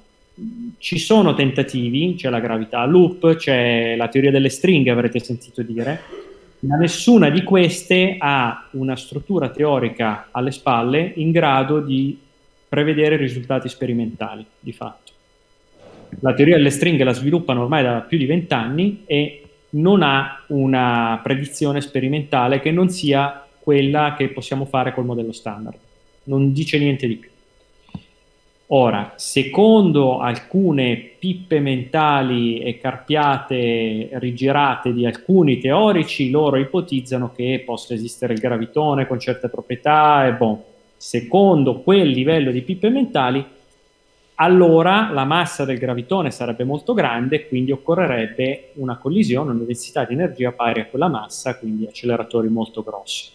Però è come dire che esistono gli unicorni su Mercurio e noi non li abbiamo mai visti. Eh. Cioè, questo è il livello di accuratezza di quelle teorie. Domande? Se no faccio domande io sul tempo, eh, dopo lì però ti illupo, lo so. Allora, ehm, l'antiparticella dell'elettrone è il positrone. E esistono antiparticelle del neutrone e del fotone? Ah, bella quella del fotone. Del neutrone sì, perché il neutrone non è una particella elementare, è composta da quark ehm, eh, up e down e ognuno di questi ha una carica. La chiamiamo carica frazionaria perché vale un terzo, ma esistono gli antiquark identici, ma con la carica scambiata. Se pigli l'anti-up l'anti-down, sono tre in realtà, due up e un down. Li metti insieme con le, con le cariche opposte, ottieni l'antineutrone quindi per il neutrone sì, è lo stesso per l'antiprotone. L'antiprotone, fra l'altro, pochi lo sanno, ma è stato scoperto da uno dei pochi premi Nobel per la fisica. Sapre, sapete dire i premi Nobel che abbiamo avuto in fisica in Italia? Me li dite? Ci proviamo. Rubbia, io non ne so. Rubbia, poi? Uno ha detto Fermi Rubbia. Mm. Fermi Rubbia, poi? Qualcun altro ne sa altri? No. Ci si ferma fermi e Rubbia. Siamo eh. fermi. Fermi sì, beh, Fermi è...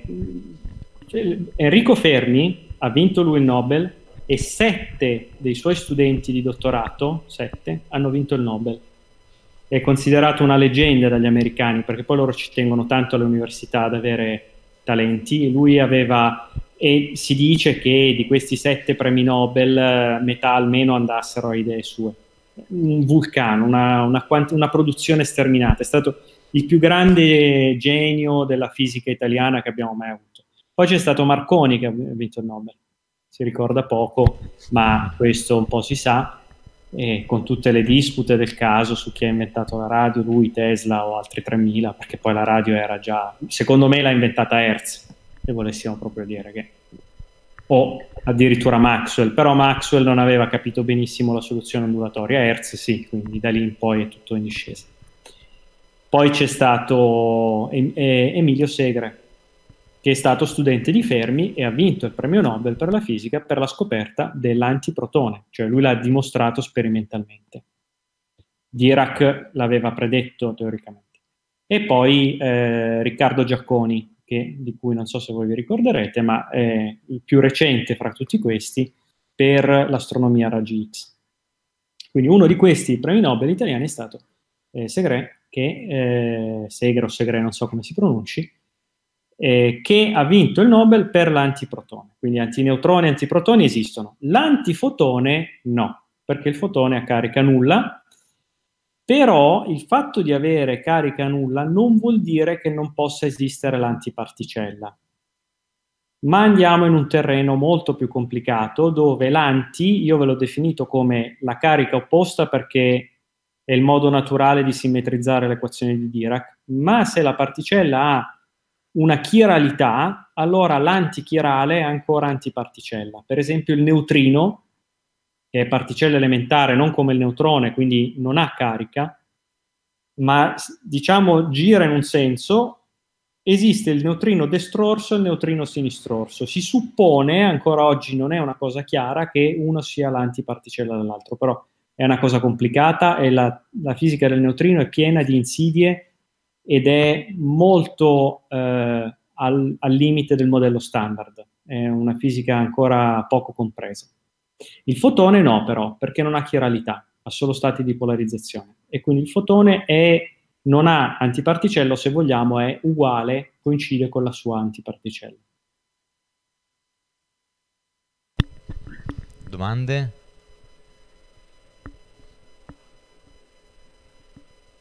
No, sai che... Sì, ce n'è una. Eh, intanto ti ringrazio, sei stato molto, molto chiaro e mh, mm, devo dire sei un divulgatore straordinario. Eh, vorrei capire, cioè, se, ho sempre avuto la curiosità eh, di, di, capire perché eh, materia e antimateria si annichiliscono. Ah, boh, questo perché ehm, nel momento, questa è una cosa un po' complicata e questa cosa è stata spiegata molto bene da un fisico di cui se avete voglia di leggere un, uno delle biografie più divertenti della vostra vita, leggete Sta scherzando Mr. Feynman. Feynman, Richard Feynman è stato un, un fisico... un burlone. Di, probabilmente se tutti conoscono Einstein come icona della scienza, tutti i fisici, se potessero assomigliare a qualcuno, vorrebbero assomigliare a, a Feynman come, come tipo. Ecco, eh, Feynman è uno che ha chiarito un concetto che prima non era tanto chiaro, cioè come avviene l'azione a distanza. Noi abbiamo due particelle, finché sono a distanza cosa succede? Ecco, lui eh, per primo ha applicato la teoria delle simmetrie di Noether alle particelle e ha dimor- spiegato che non esiste azione a distanza. Man mano, eh, quando le particelle interagiscono, è sempre puntualmente, quindi se noi abbiamo due particelle cariche, per esempio, che si respingono, due elettroni, questi si devono scambiare un fotone e l'azione della, del respingimento avviene solo eh, localmente. Quindi noi abbiamo un elettrone, abbiamo l'altro e in mezzo immaginate che si sparino il fotone, quindi per via di questo si allontanano. È uno schema che quantisticamente è un orrore, però in realtà eh, è molto più complicato, ma succede questo. Questo fotone che viene passato da uno all'altro per fare la, la, l'interazione, che noi poi chiamiamo campo elettromagnetico, ma è lo scambio proprio di un fotone, a sua volta, se è di energia abbastanza elevata, si può disaccoppiare in due particelle, un, un altro elettrone e un positrone che fanno un loop e si richiudono, quindi il fotone eh, viaggia da uno all'altro, fa un loop e va, eh, poi si annichilisce e continua. Il, l'elettrone e il positrone a loro volta si scambiano un altro fotone nel mezzo mentre fanno il loop, il quale si può separare ancora in un elettrone e positrone, il quale si può generare un fotone, il quale si, e così via. Questo casino, che si chiama, eh, eh, questa è la teoria della, dell'interazione eh, elettromagnetica e che poi si estende a tutte le interazioni, è particolarmente complessa ci dice una cosa. Tutto quello che può accadere lo fa. Una delle cose che, può, che non è in violazione di nessun principio è che due cariche elettriche di segno opposto, eh, che appartengono alla stessa famiglia, quindi un, l'elettrone e il positrone sono un esempio, possono annichilirsi, cioè possono semplicemente trasmutare la loro energia e generare un fotone. Questa è una delle soluzioni dell'equazione di Dirac, quindi è possibile e allora lo fanno. Allo stesso modo un fotone si può disaccoppiare in un elettrone o un positrone, non è vietato, anzi, proprio per la storia che la freccia temporale non conta niente, nella... questi fenomeni sono del tutto interscambiabili e succedono. E succedono continuamente, tutta l'interazione delle particelle, noi vediamo la luce che ci arriva, in realtà si genera un mare di particelle che si trasformano continuamente le une nelle altre e eh, eh, fanno questo genere di balletto. Quindi il perché possano scambiarsi è perché non è vietato, non c'è un principio di conservazione che dice che elettrone e positrone debbano rimanere lì. Il principio di conservazione della carica e ci dice che la carica totale deve essere conservata, ma siccome una era più, una meno, la carica totale è zero e il fotone la conserva. Il principio globale ci dice che il numero leptonico, quelli con i leptoni, che sono gli elettroni in questo caso, il protone è un adrone, ad esempio, non è un leptone i leptoni, che sono gli elettroni, muoni, eccetera, si contano col più se hanno carica più, col meno se hanno carica meno. In questo caso sono zero, perché uno col più, uno col meno fa zero. Allora possono generare un bosone, che è il fotone.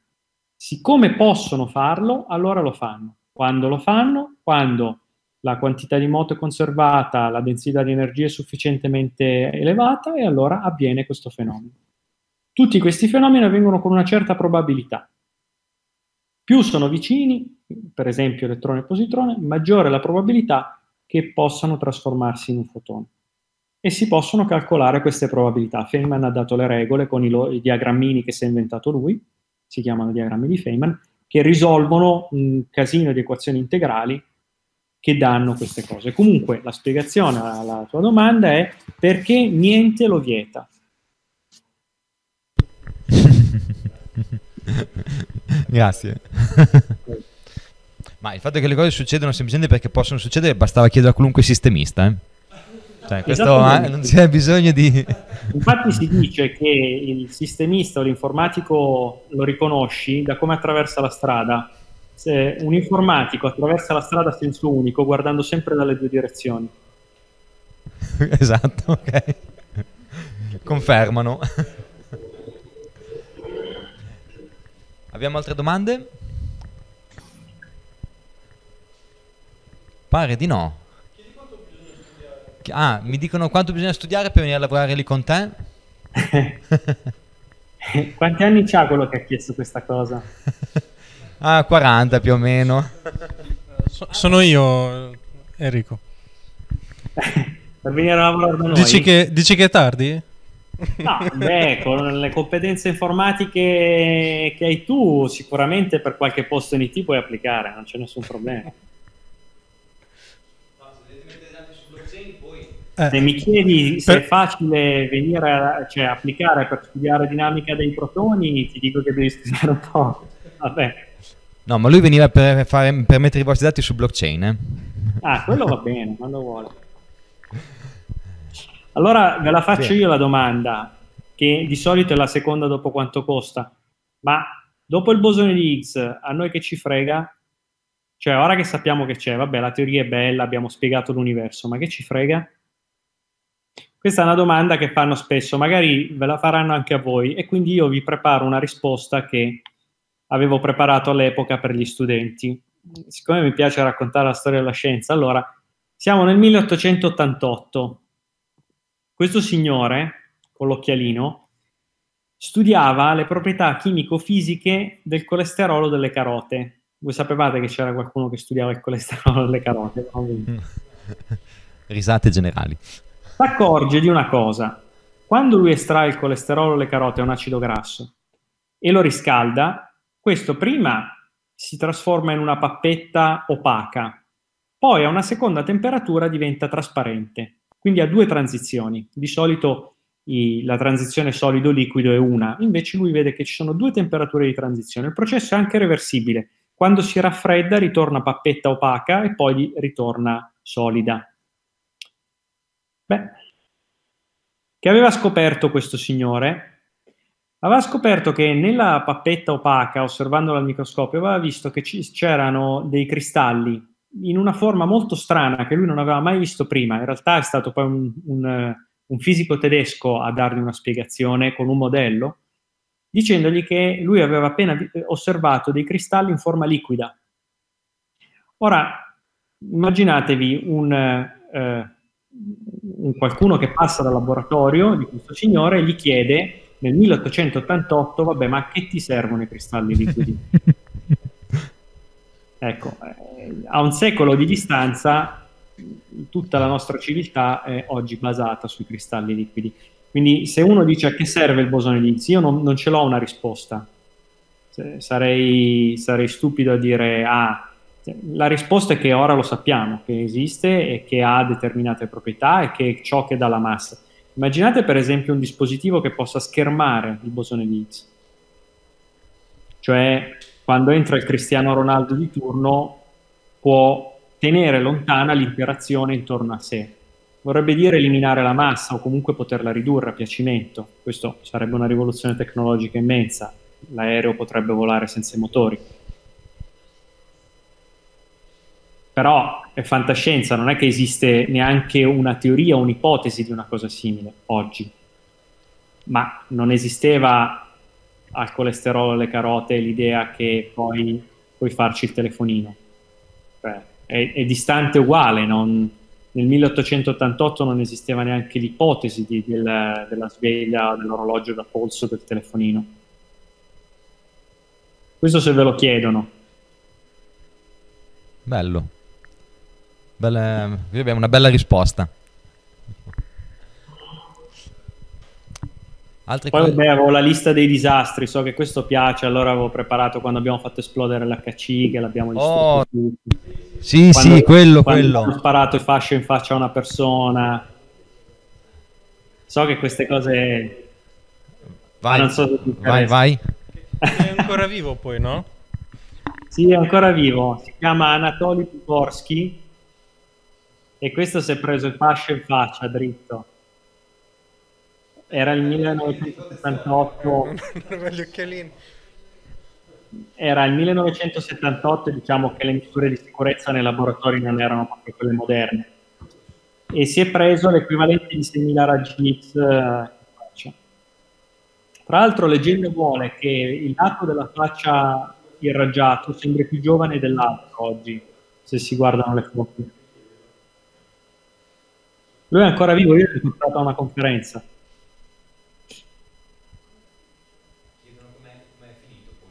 Com- chiedono com'è finito? Eh, è ancora... È vivo, ha fatto il dottorato. Comunque era russo, quindi credo che la vodka abbia schermato. La vodka. e questo qui, vediamo se lo trovo.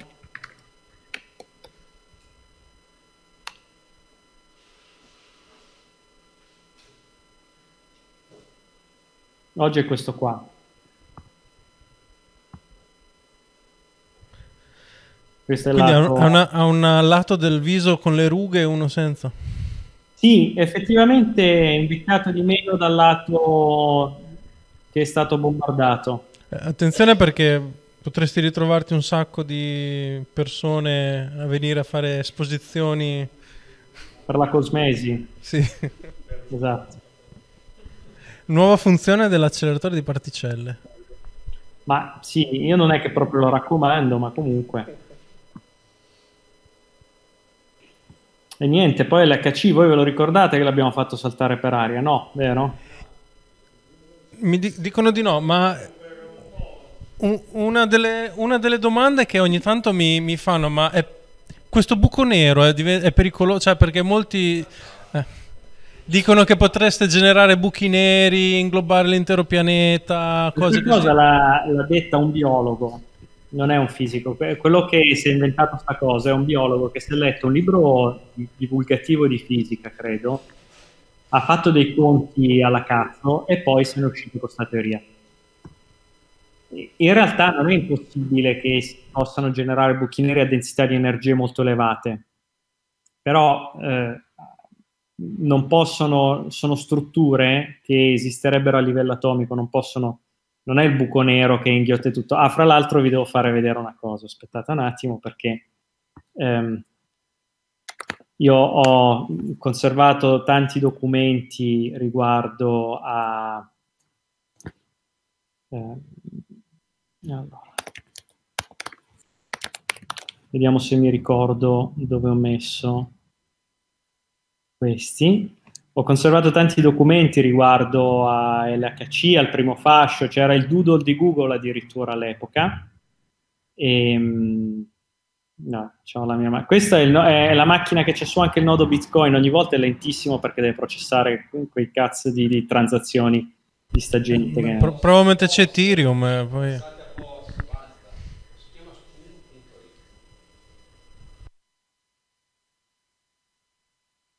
Vediamo se trovo la pagina che vi volevo far vedere. Se si sveglia questo sistema. Chiedono se il tuo dominio scum.it ha a che fare con scum VM di Monkey Island. Beh, eh, scum VM, certo, cioè non, non il VM, eh, nasce da, dalla script eh, Creation Utility for Maniac Mention. Sì. l'ho registrato eh, quando, hanno, quando è cominciata l'era del DNS ehm, in, in, seguito a Monkey Island. Certamente. ottima mossa. Allora, Atlas non era in foto, quindi. Allora ce l'ho da un'altra parte. Che poi tanti mi hanno contestato che scum non è una bella parola. Ma in che lingua? Beh, in inglese, scam. È... Ah, ah, vedi. C'era il gioco di parole. È stato il gatto, vero? allora, questa, ora provo a ingrandirla. Fu una fake pagina di Repubblica dell'epoca in cui annunciavano che per via dell'accensione del CERN de, di LHC avevamo fatto i buchi neri. E particolarmente divertente perché allora alla fine del mondo tra 24 ore l'universo sarà risucchiato dal buco nero al CERN, sconcerto, bla bla bla. È focus e, questo? Tutte le immagini, tutta la, la struttura era su questa cosa, per cui c'era nude per fermare l'HC nella colonna di destra, ormai è troppo tardi ma rifatevi gli occhi per l'ultima volta noi saremo la simulazione del collasso del sole.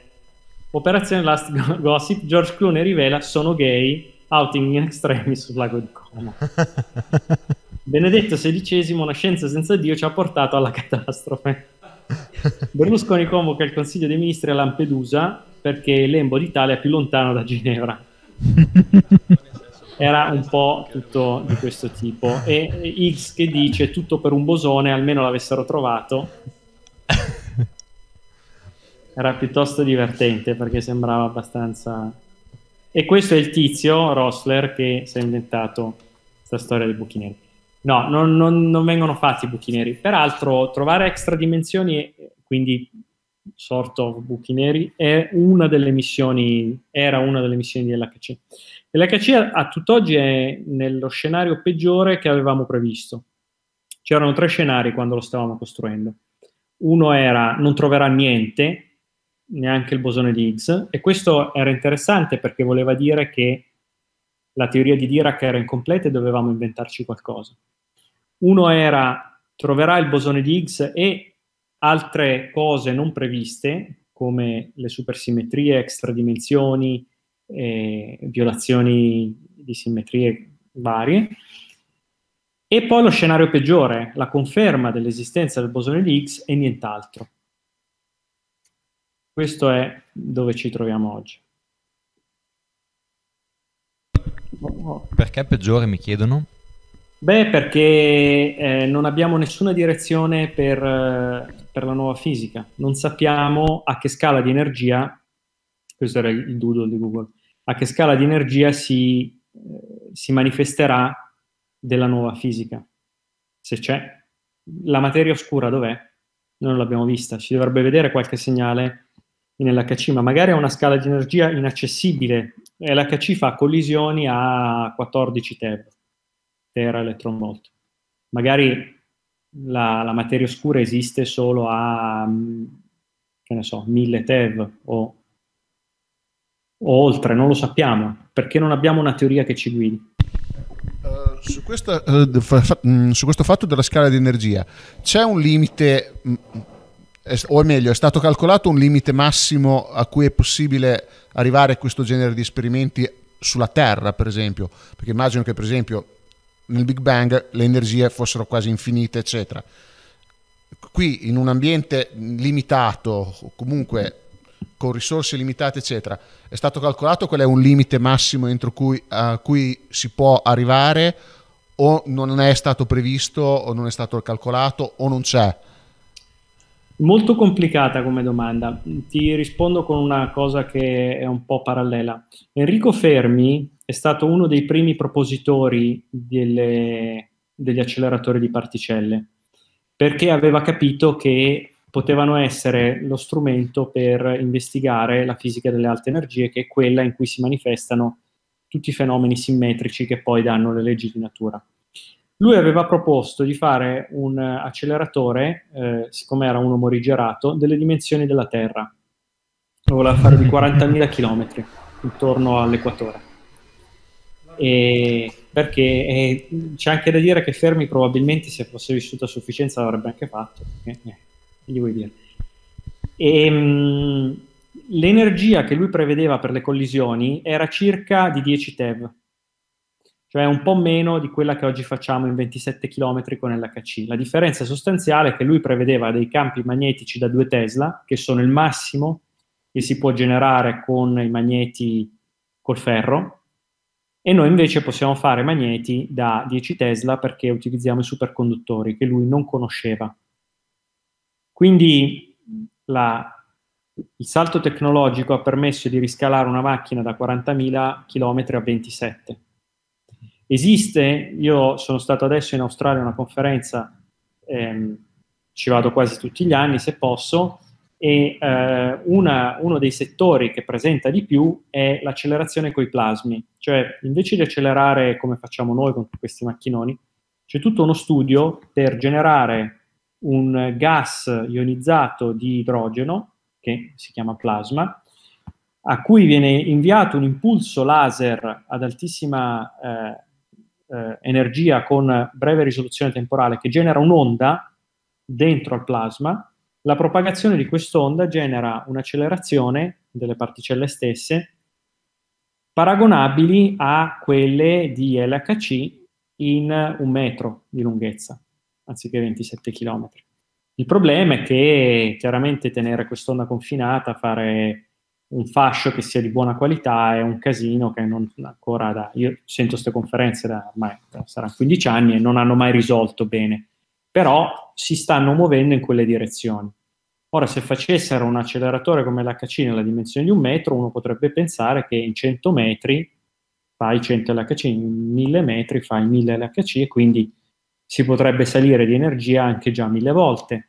Quindi io non so dire la tecnologia che cosa ci può portare, perché ci possono essere salti tecnologici tali da arrivare a, a energie oggi del tutto inaccessibili, quindi non c'è una previsione in questo senso.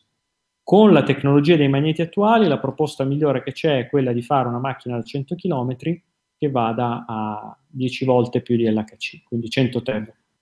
Questo è fattibile, se oggi ci dessero i soldi la potremmo cominciare a costruire.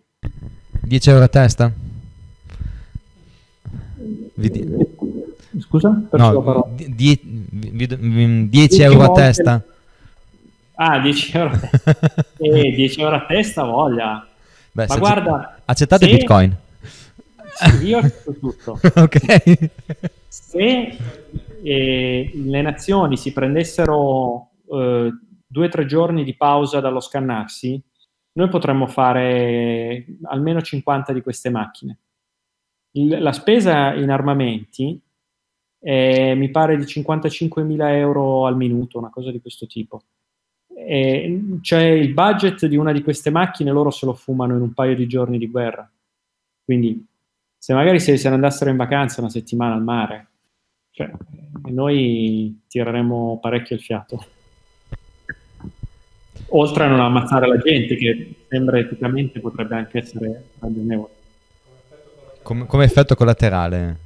Sì, però quello a, a, quanto pare la gente adora scannarsi. Però almeno prendersi una vacanza. C'è qualche altro disastro da farci vedere? Beh, quello dell'LHC è quando abbiamo fatto esplodere tutto, tutto spaccato. Tutto. Questo è un interessante. In Canada, in una macchina medicale, gli hanno fritto il cervello alla gente. Hanno ammazzato sei pazienti. Mm. Per colpa dei softwareisti. Ah, c'era un bug, un aggiornamento. C'era un buffer overflow. Hanno, Buffer era overflow. una macchina a elettroni che poteva funzionare in due modalità.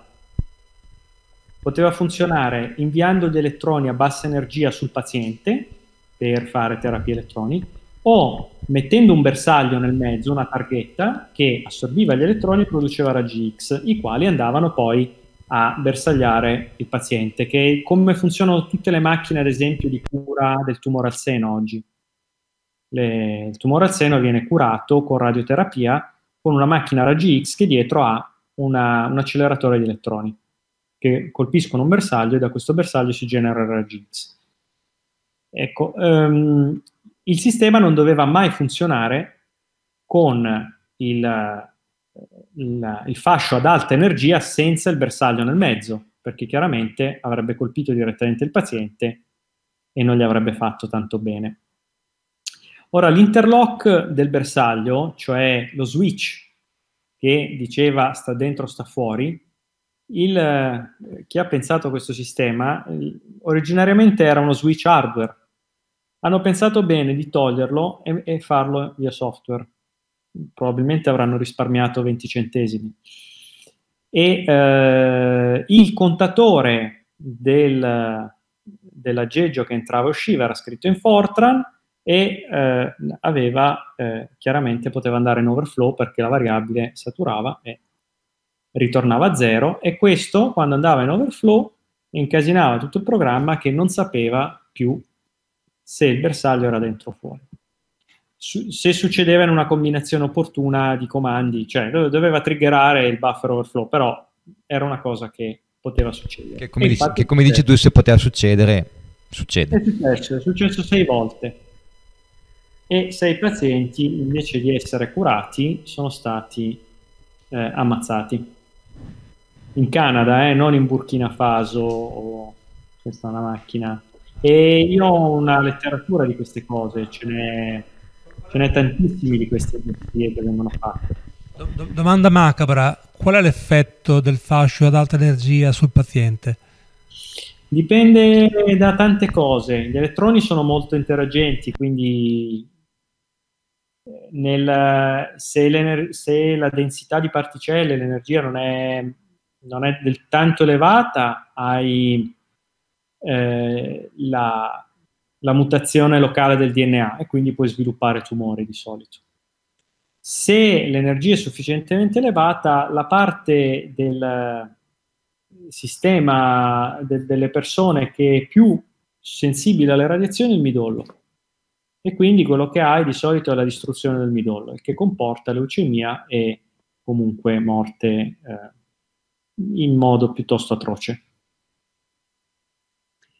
E che è come è finita la Marie Curie, per dire. Lei faceva i pastoni con eh, materiali radioattivi perché lei stava, ha scoperto la radioattività. La Marie Curie ha vinto due Nobel, uno per la chimica e uno per la fisica, per la scoperta della radioattività naturale. Il marito, poi la figlia ha vinto il Nobel pure per eh, la radioattività artificiale. Sono tutti morti di radiazione, a parte il marito che si è risparmiato questa morte perché l'ha tirato sotto una carrozza. L'unico giorno in cui è andato a comprare un regalo per la moglie, loro vivevano in laboratorio, quel giorno ha detto, boh, festeggiamo, è andata a comprare un paio di orecchini, tornando a casa l'ha tirato sotto la carrozza. Quindi non so se sia peggio fare regali o fare i pastoni radioattivi, però... Per non sbagliare, non se ne fa nessuna delle due. Già. Beh, anche Fermi, Fermi è morto di tumore allo stomaco. Si sospetta per le radiazioni. All'epoca non c'era tantissima prevenzione sulla, sulla radioterapia. Oggi siamo un pochino più, speriamo, pochino, abbiamo qualche informazione in più. Adesso ci spaventa il 5G. Ma va, c'è un, c'è uno di questi banditi che circolano che mi voleva vendere l'ombrello per proteggersi da 5G. Ha scritto, mi ha detto, ma tu che ne pensi? No. Era fatto in alluminio, immagino, vero? Cioè, era un ombrello di alluminio, immagino. Tra l'altro, questa gente non pensa a una cosa: Tutti, tutte le mamme informate che si preoccupano del, del telefonino che fa il 5G perché c'è l'antenna vicina e che quindi gli viene il tumore al cervello per l'antenna che installa la Telecom, non pensano a una cosa. L'oggetto, la, la potenza delle antenne eh, va più o meno col vettore di pointing, che sarebbe col quadrato della distanza dalla sorgente, più o meno, dipende come è fatta la, l'antenna. Ora, eh, l'antenna installata dalla Telecom è potente, fa, fa diverse centinaia di watt probabilmente ma è molto lontana, già, già a 50 metri, lontanissimo perché va col quadrato. La, il vero oggetto che sta proprio vicino al cervello del pargolo è il telefono, il quale, se fanno spostare l'antenna più lontana, alza la potenza e gliela alza nel cervello. Quindi chiedere di spostare l'antenna è una mossa abbastanza stupida perché è quella che ti permette di avere la potenza del telefonino più bassa nel momento in cui te la appiccichi all'orecchio. Però la fisica non è esattamente la, cosa, la prima cosa che studiano le persone. Mm. vicino, provider sbagliato. Comunque, no, no, vabbè, una battuta. No, dicevano che anche, c'è anche la sfiga, mai che c'è l'antenna vicino, ma non è nemmeno quella del tuo operatore. Ah sì, questo sì, può pure capitare quello. Beh, pigliati quello, almeno ti irraggi per un sano. Bene, avete qualche domanda? Lo facciamo andare Andateli... a letto. Io non so neanche da te che ore sono. Le stesse tue. Andategli ah, a okay. visitare gli acceleratori. In Italia avete il sincrocrone a Trieste, Elettra. Come scusa? In Italia avete Elettra e il sincrotrone a Trieste. Avete... Andare a visitare, dici? Ah, sì, andate a vedere il CERN. Organizzato una visita è molto interessante. Ora ci va a lavorare uno di Crypto Italia. Mi ricordo che mi dicevi c'era una visita guidata, una, una visita al CERN in programma. Me l'avevi detto, ma hai anche dato una data un paio di mesi fa. Ah, c'è l'Open Day. C'è l'Open Day, esatto. Quando il mercato Open Day CERN, ora non mi ricordo quando è, ma andateci sicuro. Sì, L'Open sì. Day del CERN sono fra le esperienze più interessanti che potete fare in un laboratorio vero. Cioè non è un museo, è proprio un laboratorio che sta facendo qualcosa. Sì, sì, non mi ricordo, fra un anno e mezzo mi pare. Dove andare schermati? No, mi fanno il gelato con l'azoto. Noi lo facevamo ai bambini come si divertivano, era, era veramente bellissimo. Venivano lì perché poi un bambino in un laboratorio. Allora gli avevamo organizzato il trenino superconduttivo, c'era il rail, gli versavi l'azoto liquido nella locomotiva e usciva tutto il fumo dell'azoto che è, e il trenino iniziava a muoversi, impazzivano. E poi gli facevamo sempre con l'azoto il gelato istantaneo. E veniva anche abbastanza 14-15 settembre, dicono. Ok, di quest'anno? Di quest'anno? Sì. Eh, allora organizzatevi.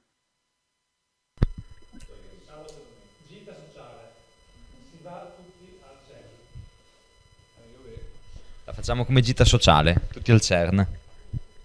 Beh, merita. Ci sarà un carnaio, però merita. Emanuele, io ti ringrazio a nome di tutti a questo punto, direi.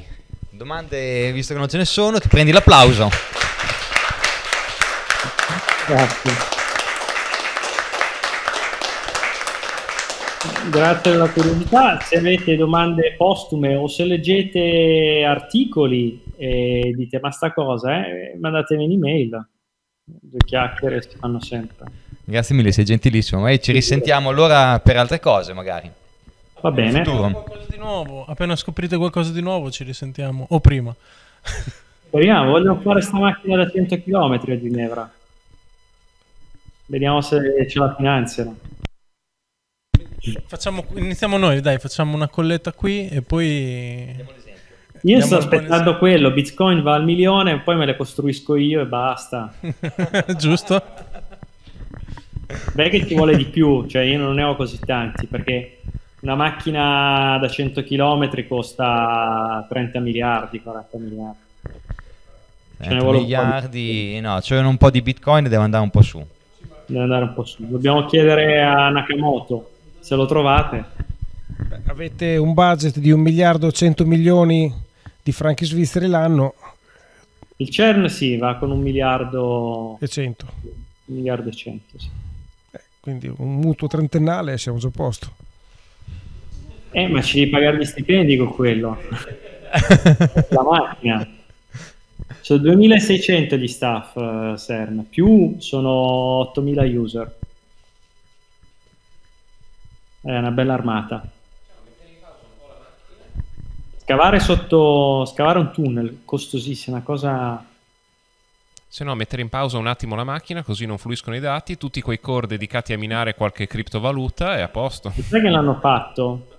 Eh, hanno usato il cluster di, di calcolo per minare cripto, due, due tizi, poi li hanno presi, li hanno cacciati. Però effettivamente in cui non, non usavano la- il cluster, secondo me poteva essere una buona idea. Eh. Beh, perché no? Comunque sono tutti PC, eh, non- sì, forse hanno un po' di GPU, però non, non credo... Ormai non Cioè, sono ci- avvicinabili. Cioè, ci altri. girano i gattini. Ci giravano i gattini, vero? Se ci Sì, girano i gattini... Sì, sì. Girano Vitalik i gattini. Grazie ancora Emanuele. Ci risentiamo per un altro appuntamento più avanti allora, magari, se sei ancora Buona disponibile. serata. Grazie mille. Ciao. gra- grazie a tutti. Ciao.